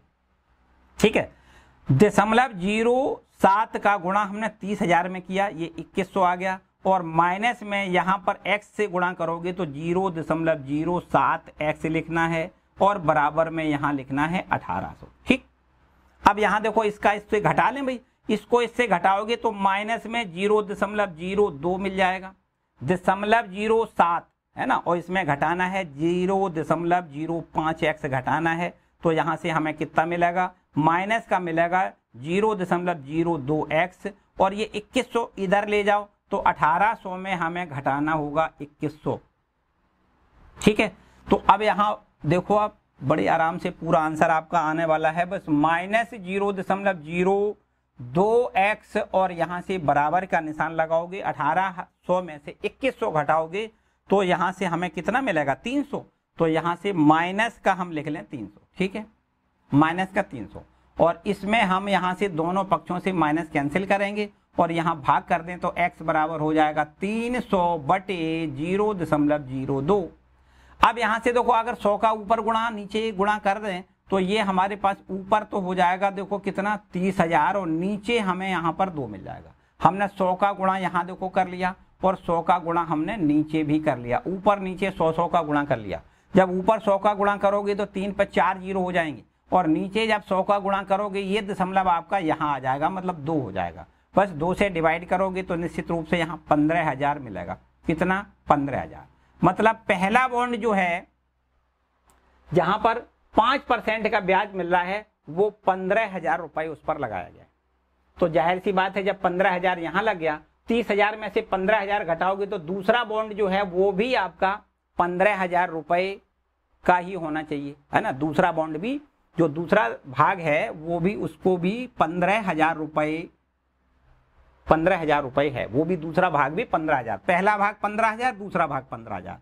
मतलब ऐसे लिख सकते हो कि पाँच प्रतिशत की दर पर लगाया गया धन पंद्रह हज़ार है, तथा सात प्रतिशत वार्षिक ब्याज की दर पर भी लगाया गया धन पंद्रह हज़ार रुपए होगा। ठीक है? पाँच प्रतिशत की ब्याज, पाँच प्रतिशत के ब्याज या वार्षिक ब्याज लिख दो कि वार्षिक ब्याज पर लगाया गया धन कितना है? पंद्रह हज़ार रुपये है। तथा सात प्रतिशत के ब्याज या वार्षिक ब्याज लिखो, है ना? वार्षिक ब्याज। वार्षिक ब्याज पर लगाया गया लगाया गया धन बराबर कितना हो जाएगा? तीस हज़ार। और माइनस यहाँ लिख दें पंद्रह हज़ार। तीस हज़ार में पंद्रह हज़ार घटाओगे तो पंद्रह हज़ार। ये आपका देखो आंसर। ठीक? दोनों बॉन्डों पर पंद्रह पंद्रह हज़ार रुपए लगाएँगे। क्लियर है बच्चों? किसी का कोई डाउट नहीं। ध्यान से समझना है। यहाँ पर हमने तीस हज़ार के दो भाग बना लिए। दोनों भागों को एक आव्यू में रख लिया, एक पंक्ति आव्यू बना लिया। ब्याज की जो दरें हैं, वो आपकी पाँच परसेंट, सात परसेंट है, या ये कहें दशमलव ज़ीरो पाँच व दशमलव ज़ीरो सात। इनको हमने एक आव्यू बनाया, इसको हमने स्तंभ आव्यू बना लिया। और फिर हमें ये मूलधन और ब्याज दोनों का आपस में, दर का हम जब गुणा कर देते हैं तो कुल ब्याज निकल आता है। तो ब्याज बराबर मतलब ए गुणे आर बराबर, प्रश्न के अनुसार अठारह सौ रुपए वार्षिक ब्याज दोनों का है, दोनों का मिला ठीक है? तो यहाँ पर बराबर अठारह सौ लिख दिया और इस तरीके से ये ए और ये आर दोनों का आपस में गुणा करके, हल करके हमने एक्स का मान निकाल लिया। एक्स का मतलब जो पाँच परसेंट की, पाँच परसेंट की दर पर लगाया गया धन है, वो आपका निकल के आया पंद्रह हज़ार। इसलिए सात परसेंट की ब्याज की दर पर लगाया गया धन भी पंद्रह हज़ार रुपए ही होगा। ठीक है? तो बच्चों, इसी का एक और सेकंड भाग है। ये आपका कौन सा भाग है? पहला भाग है। यहाँ पर दो प्रश्न हमसे पूछे गए हैं। ध्यान से समझो क्वेश्चन नंबर है आपका ये 19 और इसमें पहला इसका भाग है, वो हमने लगाया। इसका जो दूसरा भाग है, उसमें ऐसा लिखा है कि अगर कुल वार्षिक ब्याज दो हज़ार रुपए हो जाए, ये अठारह सौ की जगह दो हज़ार लिख दें, और फिर यहाँ दो हज़ार लिखने के बाद इसको कैलकुलेट करेंगे तो एक्स का मान जो भी आएगा उसको लिखेंगे। ठीक है? तो दूसरा प्रश्न इसका जो दूसरा भाग है, इसको आप खुद कर सकते हो बड़े आराम से। ठीक है? इसको आपको करना है। इसका ऐसे समझो आपका होमवर्क हो गया। तो इसके बाद बच्चों यहाँ पर बीसवा जो प्रश्न है, उसको भी देखो, इसमें भी इबारत लिखी है, इसमें भी इबारत लिखी है। बड़े आराम से देखो पूरा प्रश्न समझो। इसको रब कर लें। चलिए बीसवा प्रश्न देखो क्या है।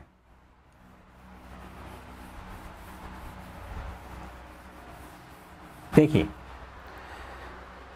यह है हमारे पास क्वेश्चन नंबर बीसवा।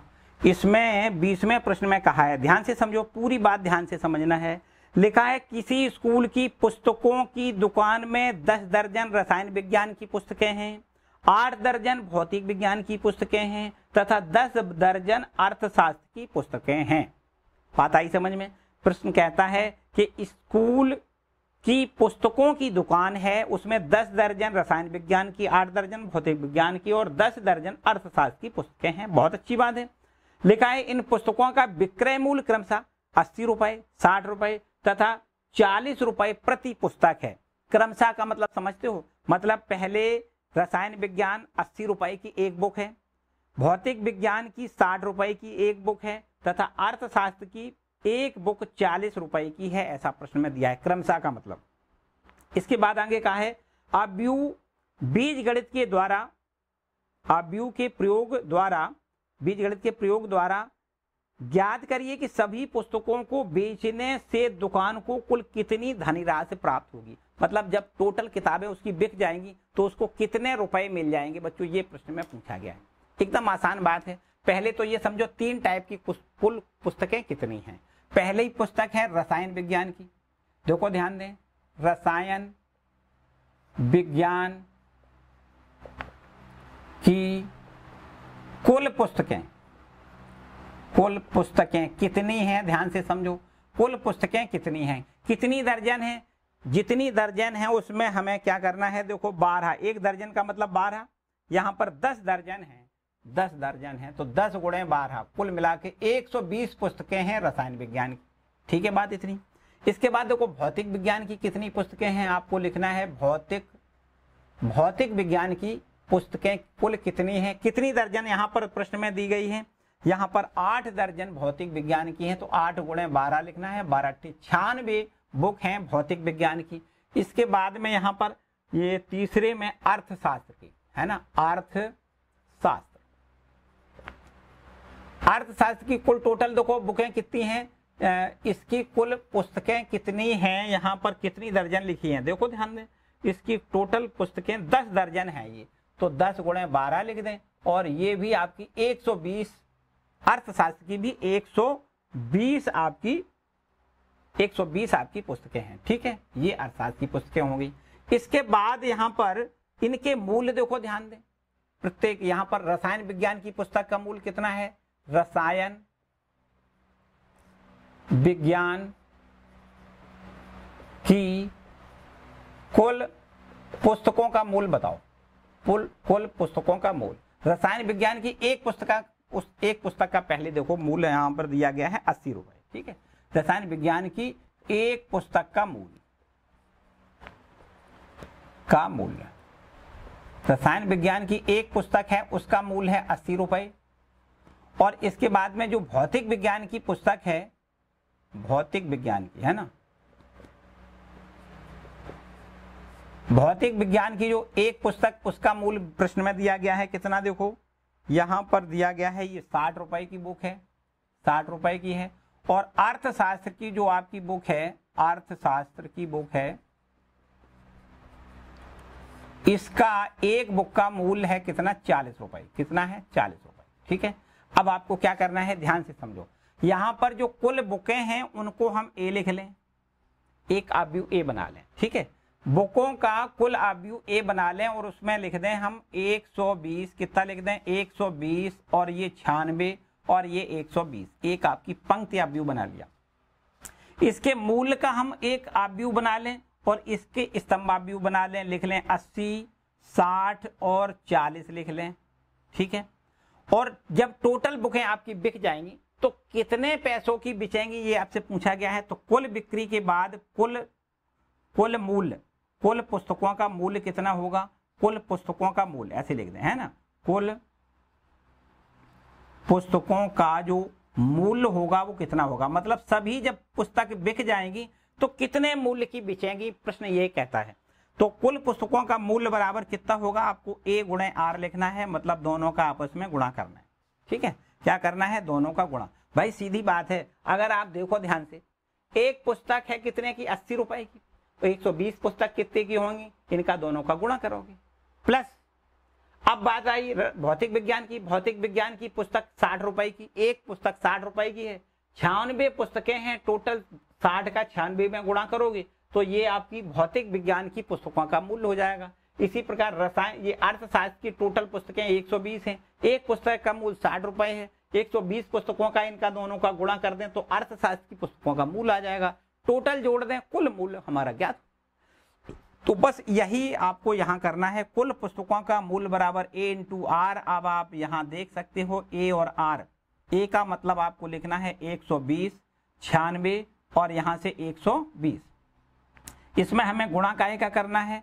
इसमें हमें आर से गुणा करना है, इसके मूल्य से गुणा करना है। मूल्य है अस्सी साठ चालीस। अस्सी साठ और ये चालीस। इनका गुणा कर दो, बस समझो एक लाइन में इसका टोटल आंसर आने वाला है। कैसे गुणा करते हैं? 120 का यहाँ गुणा कर दें। देखो, इस पंक्ति का इस स्तंभ में गुणा करना है। तो यहाँ गुणा करोगे, देखो, बारह अट्ठी छियानवे, नौ सौ, नौ हज़ार, छह सौ की तो ये हो जाएँगी। इसका गुणा इसमें करना है। प्लस का निशान लगाओ। यहाँ इसका गुणा इसमें कर दो तो देखो, ज़ीरो। एक मिनट। प्लस का निशान लगाओ। अब छियानवे का साठ में गुणा करो। पहले देखो ज़ीरो ये वाली बढ़ानी है। छह का गुणा, छह छक्का, छत्तीस, हासिल में तीन, और छह नंबर चौवन, और चौवन और तीन सत्तावन। यहाँ पर आपको लिखना है ये। पाँच हज़ार सात सौ साठ रुपए की ये आपकी भौतिक विज्ञान की पुस्तकें टोटल होंगी। प्लस यहाँ देखो, अर्थशास्त्र की पुस्तकों का मूल्य कितना हो जाएगा इसका। इसमें गुणा करना है तो ज़ीरो ज़ीरो, और चार दूनी आठ, और बारह बारह चौको अड़तालीस ऐसे लिख दें। अड़तालीस सौ रुपए की देखो ये आपकी अर्थशास्त्र की बुकें बिक जाएँगी। तो अब हमें क्या करना है? तीनों को जोड़ना। चलो यहाँ लिख देते हैं, बच्चों, हो सकता है नीचे आपको दिखाई ना दे। तीनों को जोड़ दें, बस ये आंसर आ जाएगा। ज़ीरो ज़ीरो ज़ीरो मतलब ज़ीरो। दूसरा ये छह है तो यहाँ पर छह लिखना है। तीसरा अंक देखो, आठ, और ये आठ में सात जोड़ो अर्थात पंद्रह, और पंद्रह में छह जोड़ो तो इक्कीस हासिल में दो। और ये आपका दो यहाँ जोड़ोगे, छह, और छह, पाँच, ग्यारह, और ग्यारह में नौ जोड़ोगे तो हमें ग्यारह और नौ ग्यारह, नौ, बीस मिलेगा तो इस तरीके से बीस हज़ार एक सौ साठ रुपए की टोटल बुकें बिक जाएँगी। बीस हज़ार एक सौ साठ रुपए की टोटल बुक बिक जाएगी। ये है प्रश्न आपका। ठीक है बच्चों? तो इस तरीके से इसको हमें लगाना है।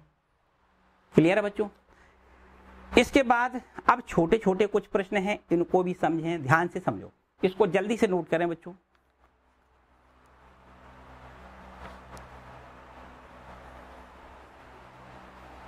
ठीक है, इसको रब कर लें।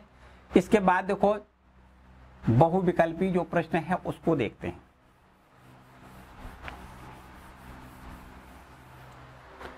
देखिए छोटे छोटे प्रश्न हैं, बड़ा ध्यान से समझना है, लेकिन ध्यान से, बहुत ध्यान से, छोटे ज़रूर हैं, लेकिन उनको समझना बहुत आराम से।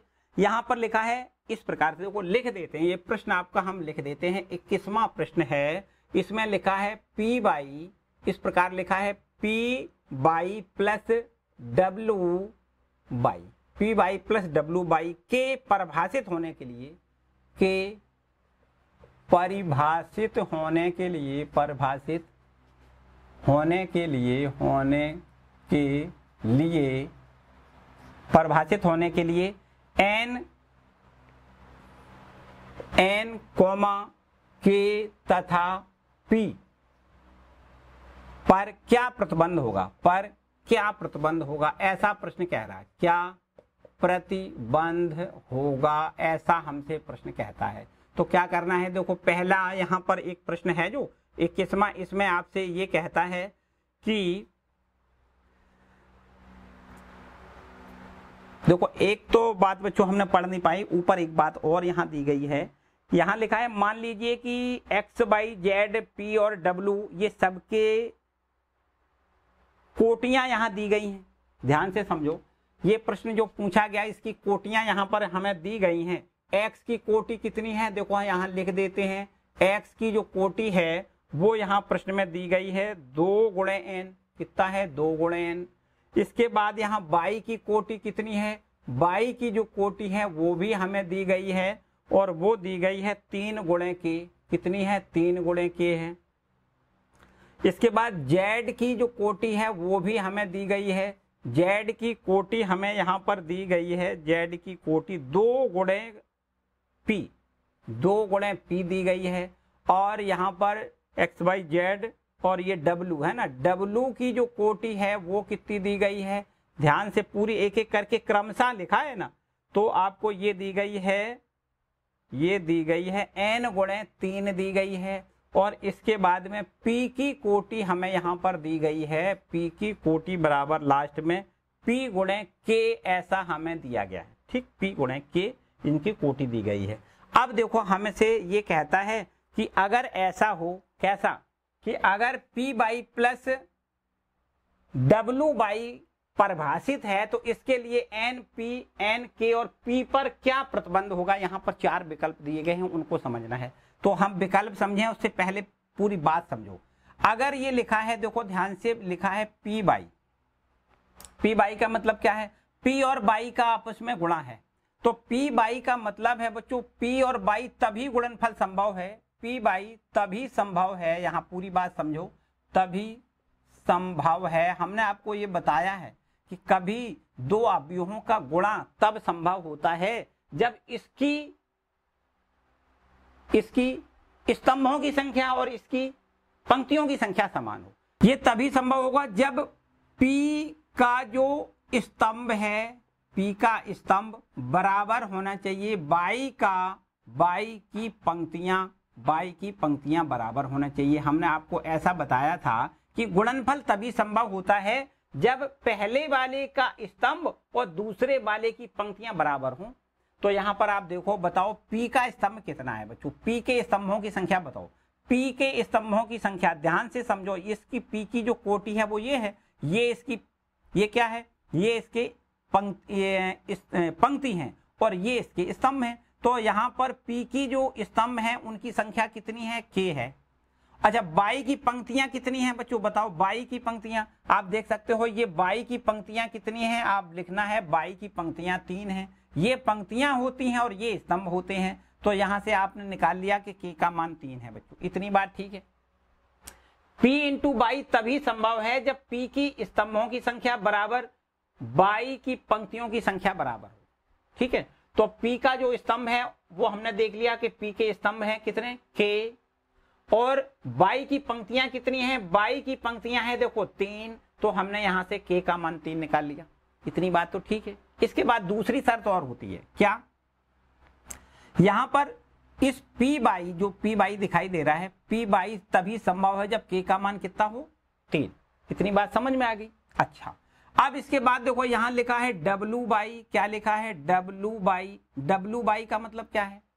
एक बात समझो डब्लू बाई बाद में, पहले दूसरी शर्त भी होती है। भाई, गुणनफल तब संभव होता है जब इसके स्तंभों की संख्या और इसकी पंक्तियों की संख्या समान हो, तथा दूसरी और बात, वो क्या? दूसरी बात ये भी तो है कि इनकी दोनों की कोटियाँ समान होनी चाहिए। अब देखो बच्चों, यहाँ पर पी बाई की कोटि बताओ कितनी होगी। पी बाई की कोटि बताओ कितनी होगी। पी बाई की कोटि मतलब पी इंटू बाई जब करोगे, पी आब्यू में बाई आब्यू का गुणा करेंगे तो इसकी कोटि कितनी होगी?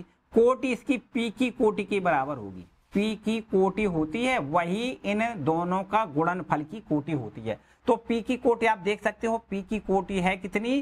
पी गुणे के है, पी गुणे के, ठीक है? और के का मान हमने यहाँ तीन निकाल लिया तो इसका मतलब पी गुणे तीन है।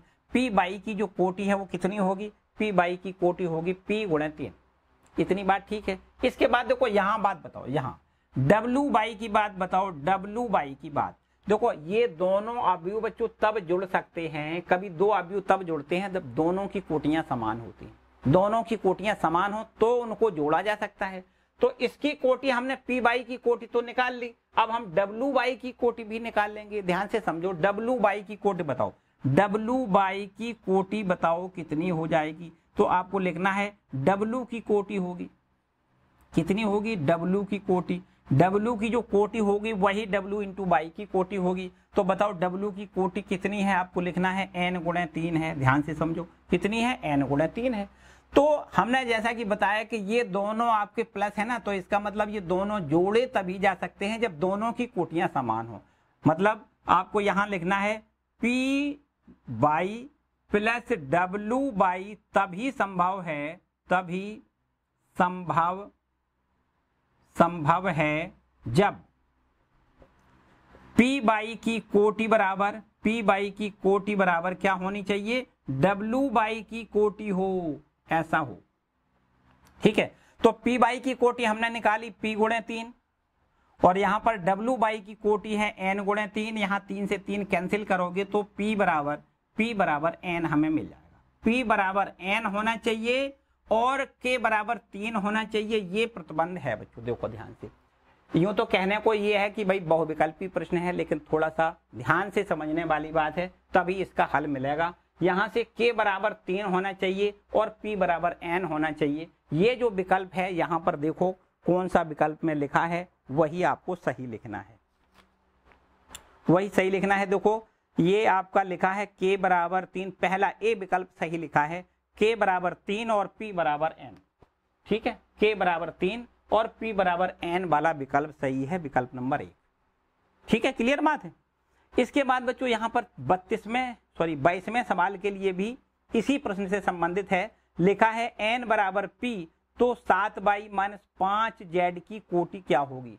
सात सात एक्स माइनस पाँच जेड की कोटि क्या होगी? ये आपसे पूछा गया है। ठीक है? तो इसका मतलब देखो, कोटि तो दोनों की समान होनी चाहिए। तभी जब दोनों की कोटि समान होती है तो दोनों अवयवों को जोड़ा जा सकता है और तो ही दोनों अवयवों को घटाया जा सकता है। यहाँ पर प्रश्न ऐसा कहता है, देखो ये इसका बाईसवा जो प्रश्न है, उसका आंसर है। यहाँ पर प्रश्न हमें ऐसा दे रहा है कि एन बराबर तो पी दे रहा है, एन बराबर पी तो हमसे कहा है सात एक्स माइनस में पाँच जेड इसकी कोटि बताओ कि कोटि आपसे पूछी गई है। तो इसकी कोटि का मतलब ये है, बच्चों, दोनों अवयवों को घटाना है। घट तभी सकते हैं जब दोनों की कोटियाँ कैसी हो, समान हो। तो दोनों की कोटियाँ समान हो, इसका मतलब x, देखो, सात एक्स की कोटि और पाँच एक्स की कोटि बराबर हो। या ये कहें, x की कोटि बराबर, x की कोटि बराबर क्या हो? z की कोटि हो, z की कोटि हो। तो ही इनको आपस में घटाया जा सकता है। ठीक है? तो x की कोटि बताओ कितनी है? यहाँ पर x की कोटि है n, दो गुणे एन क्या है? दो गुणे एन है बराबर में। z की कोटि बताओ कितनी है आपको लिखना है? दो गुणे p है। कितनी लिखनी है? दो गुणे p है। ठीक है? और यहाँ से आप देखो तो दो से दो कैंसिल करोगे एन बराबर पी आएगा कि नहीं आएगा? बिल्कुल आएगा। इसका मतलब यह है कि यहाँ पर टोटल की जो कोटि होगी वो क्या होगी? ये होगी। मतलब टोटल की कोटि का मतलब जो इसकी कोटि है, वही इसकी कोटि हो तो इसकी कोटि कितनी है? एक्स की कोटि कितनी है? दो गुणे एन है। इसका मतलब सात एक्स माइनस पाँच जेड की जो कोटि है, जो कोटि है, की कोटि कितनी होगी? आपको लिखना है दो गुणे एन होगी। कितनी लिखनी है? दो गुणे एन ठीक है? मतलब कुल मिला के हम ये कहना चाहेंगे, ये दोनों अवयव आपस में तब घट सकेंगे जब दोनों की कोटियाँ समान होंगी। अब भाई इसकी कोटि कितनी है? इसकी कोटि जितनी होगी, उतनी ही इसकी होगी। मतलब कुल मिला के हम ऐसा कहेंगे कि सात एक्स माइनस पाँच एक्स जेड की जो कोटि होगी, वो कितनी होगी? इसकी कोटि होगी। मतलब दो गुणे एन होगी। तो यहाँ से हमें आंसर में लिखना है दो गुणे एन, अर्थात विकल्प नंबर बी सही लिखना है। ठीक है? बी विकल्प आपका सही लिखना है। तो बच्चों, इस तरीके से ये पूरी एक्सरसाइज आपकी खत्म होती है, समाप्त होती है। उम्मीद है कि आपको सब कुछ बढ़िया से समझ में आया होगा। बच्चों, इसके बाद आवर्त अव्यू का परिवर्त चाहिए हमें। अव्यू का परवर्त ट्रांसपोज ऑफ़ मैट्रिक्स बहुत ही इंपॉर्टेंट टॉपिक है। इसके आगे वाला, उसको हम लोग अगले वाले वीडियो में कंप्लीट करेंगे। ठीक है? सममिति आप व्यू विषम सममिति आप व्यू तो ये सब कुछ हम इससे अगले वाले लेक्चर में कंप्लीट करने वाले हैं। 3.3 एक्सरसाइज को कंप्लीट करेंगे। ठीक है? तो आज के लिए फ़िलहाल इतना ही रखते हैं। आज का वीडियो आपको कैसा लगा, हमें कमेंट सेक्शन में कमेंट करके ज़रूर बताएँ। और वीडियो अगर अच्छा लगा है तो वीडियो को लाइक ज़रूर कर दें। चैनल पर नए आए हैं तो चैनल को भी सब्सक्राइब कर लें और साथ ही साथ इस वीडियो को अपने दोस्तों के साथ ज़रूर शेयर किया करें। ठीक है? खुश रहिए, मस्त रहिए, पढ़ते रहिए, बाय।